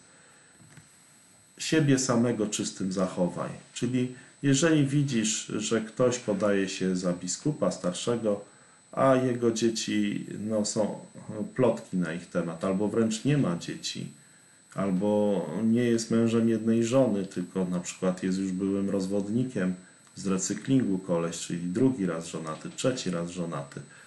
Y, nawet wdowiec jest wykluczony, czyli uczciwy człowiek, który miał jedną żonę, i potem drugą żonę wziął zgodnie z prawem, bo mu żona zmarła pierwsza, też nie może być starszym według Słowa Bożego, nie mógł być starszym.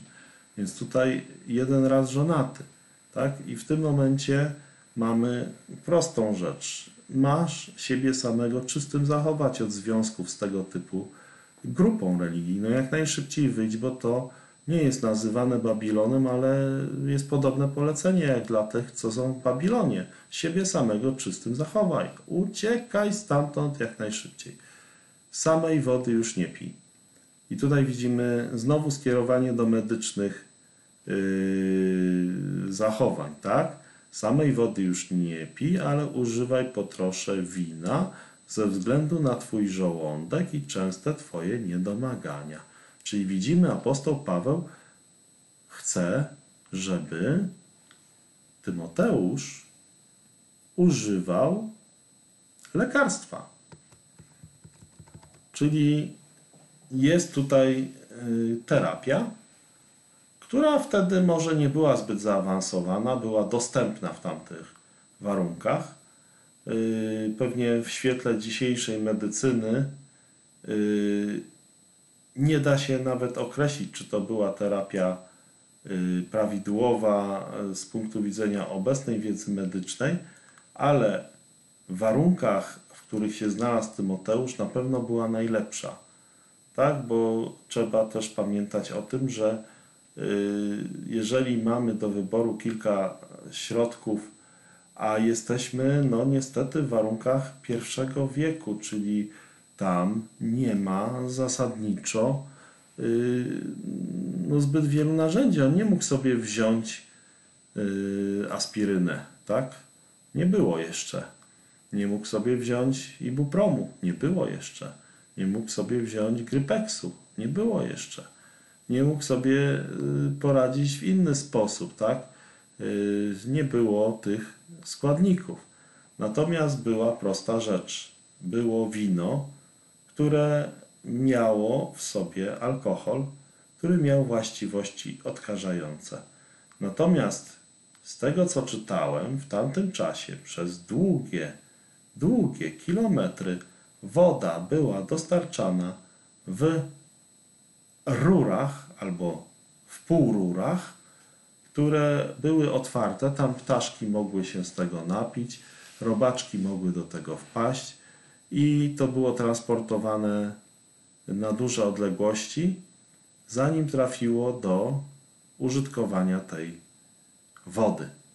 Zatem ta woda mogła być albo czerpana ze źródła, albo czerpana z studni, albo czerpana z jakiegoś cieku wodnego, albo właśnie z takiego akweduktu. Niezależnie od wszystkiego, nie była to woda o standardach, jakie my dzisiaj znamy, czyli chlorowana, yy, więc ona już wtedy mogła wystawiać na zagrożenie medyczne jej użytkowników, zwłaszcza jeśli doszło do jakiegokolwiek zanieczyszczenia tej wody i mogło się to kończyć tym, że ktoś mógł mieć trudności trawienne. Potroszę wina ze względu na Twój żołądek. Jednoznacznie widać, że to jest lekarstwo, jakie zaordynował mu apostoł Paweł, być może za radą Łukasza, który przecież był towarzyszem Pawła. W wielu miejscach widzimy Pawła i Łukasza razem. Zatem musimy tutaj mieć świadomość tego, że Bogu podoba się, kiedy korzystamy z pomocy medycznej. Natomiast nie możemy ulegać kultowi tej pomocy medycznej, czyli zdrowie nie jest za wszelką cenę. Jest czas, żeby też rozstać się z życiem. Jeśli jesteś zbawiony, to być z Chrystusem. Jeśli nie jesteś zbawiony, to y, postanowione jest ludziom raz umrzeć, a potem sąd. I to jest bardzo ważne, żebyś się pojednał jak najszybciej z Panem Jezusem. Uwierz Pana Jezusa, a będziesz zbawiony. Uwierz Panu, a będzie ci to poczytane ku usprawiedliwieniu. Więc trzymaj się Słowa Bożego. Jeśli nie masz Nowego Testamentu, chętnie ci go sprezentuję. Napisz do mnie 739089088. Jeśli wolisz e-mail, czytaj.biblię lub stacjonarny adres czytaj Biblię skrytka 31 63 500 Ostrzeszów. Dziękuję Państwu za uwagę. Jak widzieliście, wyraźnie te miejsca ze Słowa Bożego pokazują nam te relacje między yy, opętaniami a uzdrowieniami. Tego, że 1 Koryntian 12 rozdział nie wymienia wypędzania demonów jako służby chrześcijańskiej. Jest tylko rozpoznawanie demonów, rozpoznawanie duchów, a to nie to samo, co ich wypędzanie. Chrześcijanie mają poddać się Bogu, przeciwstawić się diabłu, a diabeł ucieknie. Nie ma nigdzie przykładu, żeby chrześcijanin, który nie jest apostołem, bawił się w wypędzanie demonów. Widzimy synów Scewy, którzy wypędzali duchy i zostali sponiewierani. Wiemy też ze Słowa Bożego, że ci, którzy mają dary ducha, niekoniecznie muszą być nawróceni. Nawet ci, którzy głoszą Słowo Boże i prawdziwą Ewangelię, nie muszą być osobiście nawróceni. Zdarza się tak? Widzieliśmy to na przykładzie Judasza Iskarioty. I dlatego jest bardzo ważne, żeby też pamiętać, że uzdrowienie nie zawsze równa się zbawienie. W zasadzie y, nie zawsze tutaj jest niepotrzebnie dodane. Nie równa się zbawienie. Czyli są osoby, które doznały uzdrowienia, uwolnienia od nałogów, a idą do piekła, bo nie uwierzyły Panu Jezusowi. Nie zostało im to poczytane ku usprawiedliwieniu. A są też osoby, które uwierzyły w Pana Jezusa, są zbawione, ale nigdy nie były uzdrowione. I y, to jest też bardzo ważne, żeby wiedzieć, że to są dwie różne kwestie. Uzdrowienie jest darem Bożym, za którym możemy zawsze Bogu dziękować, cieszyć się, że takie coś pozwolił, aby było praktykowane. I to jest bardzo ważne, żeby wiedzieć, że uzdrowienie nie oznacza zbawienia. Zbawienie jest z łaski niezależnie od uczynków. Uwierz Pana Jezusa, a będziesz zbawiony, nieutracalnie zbawiony, raz na zawsze zbawiony. Z Bogiem.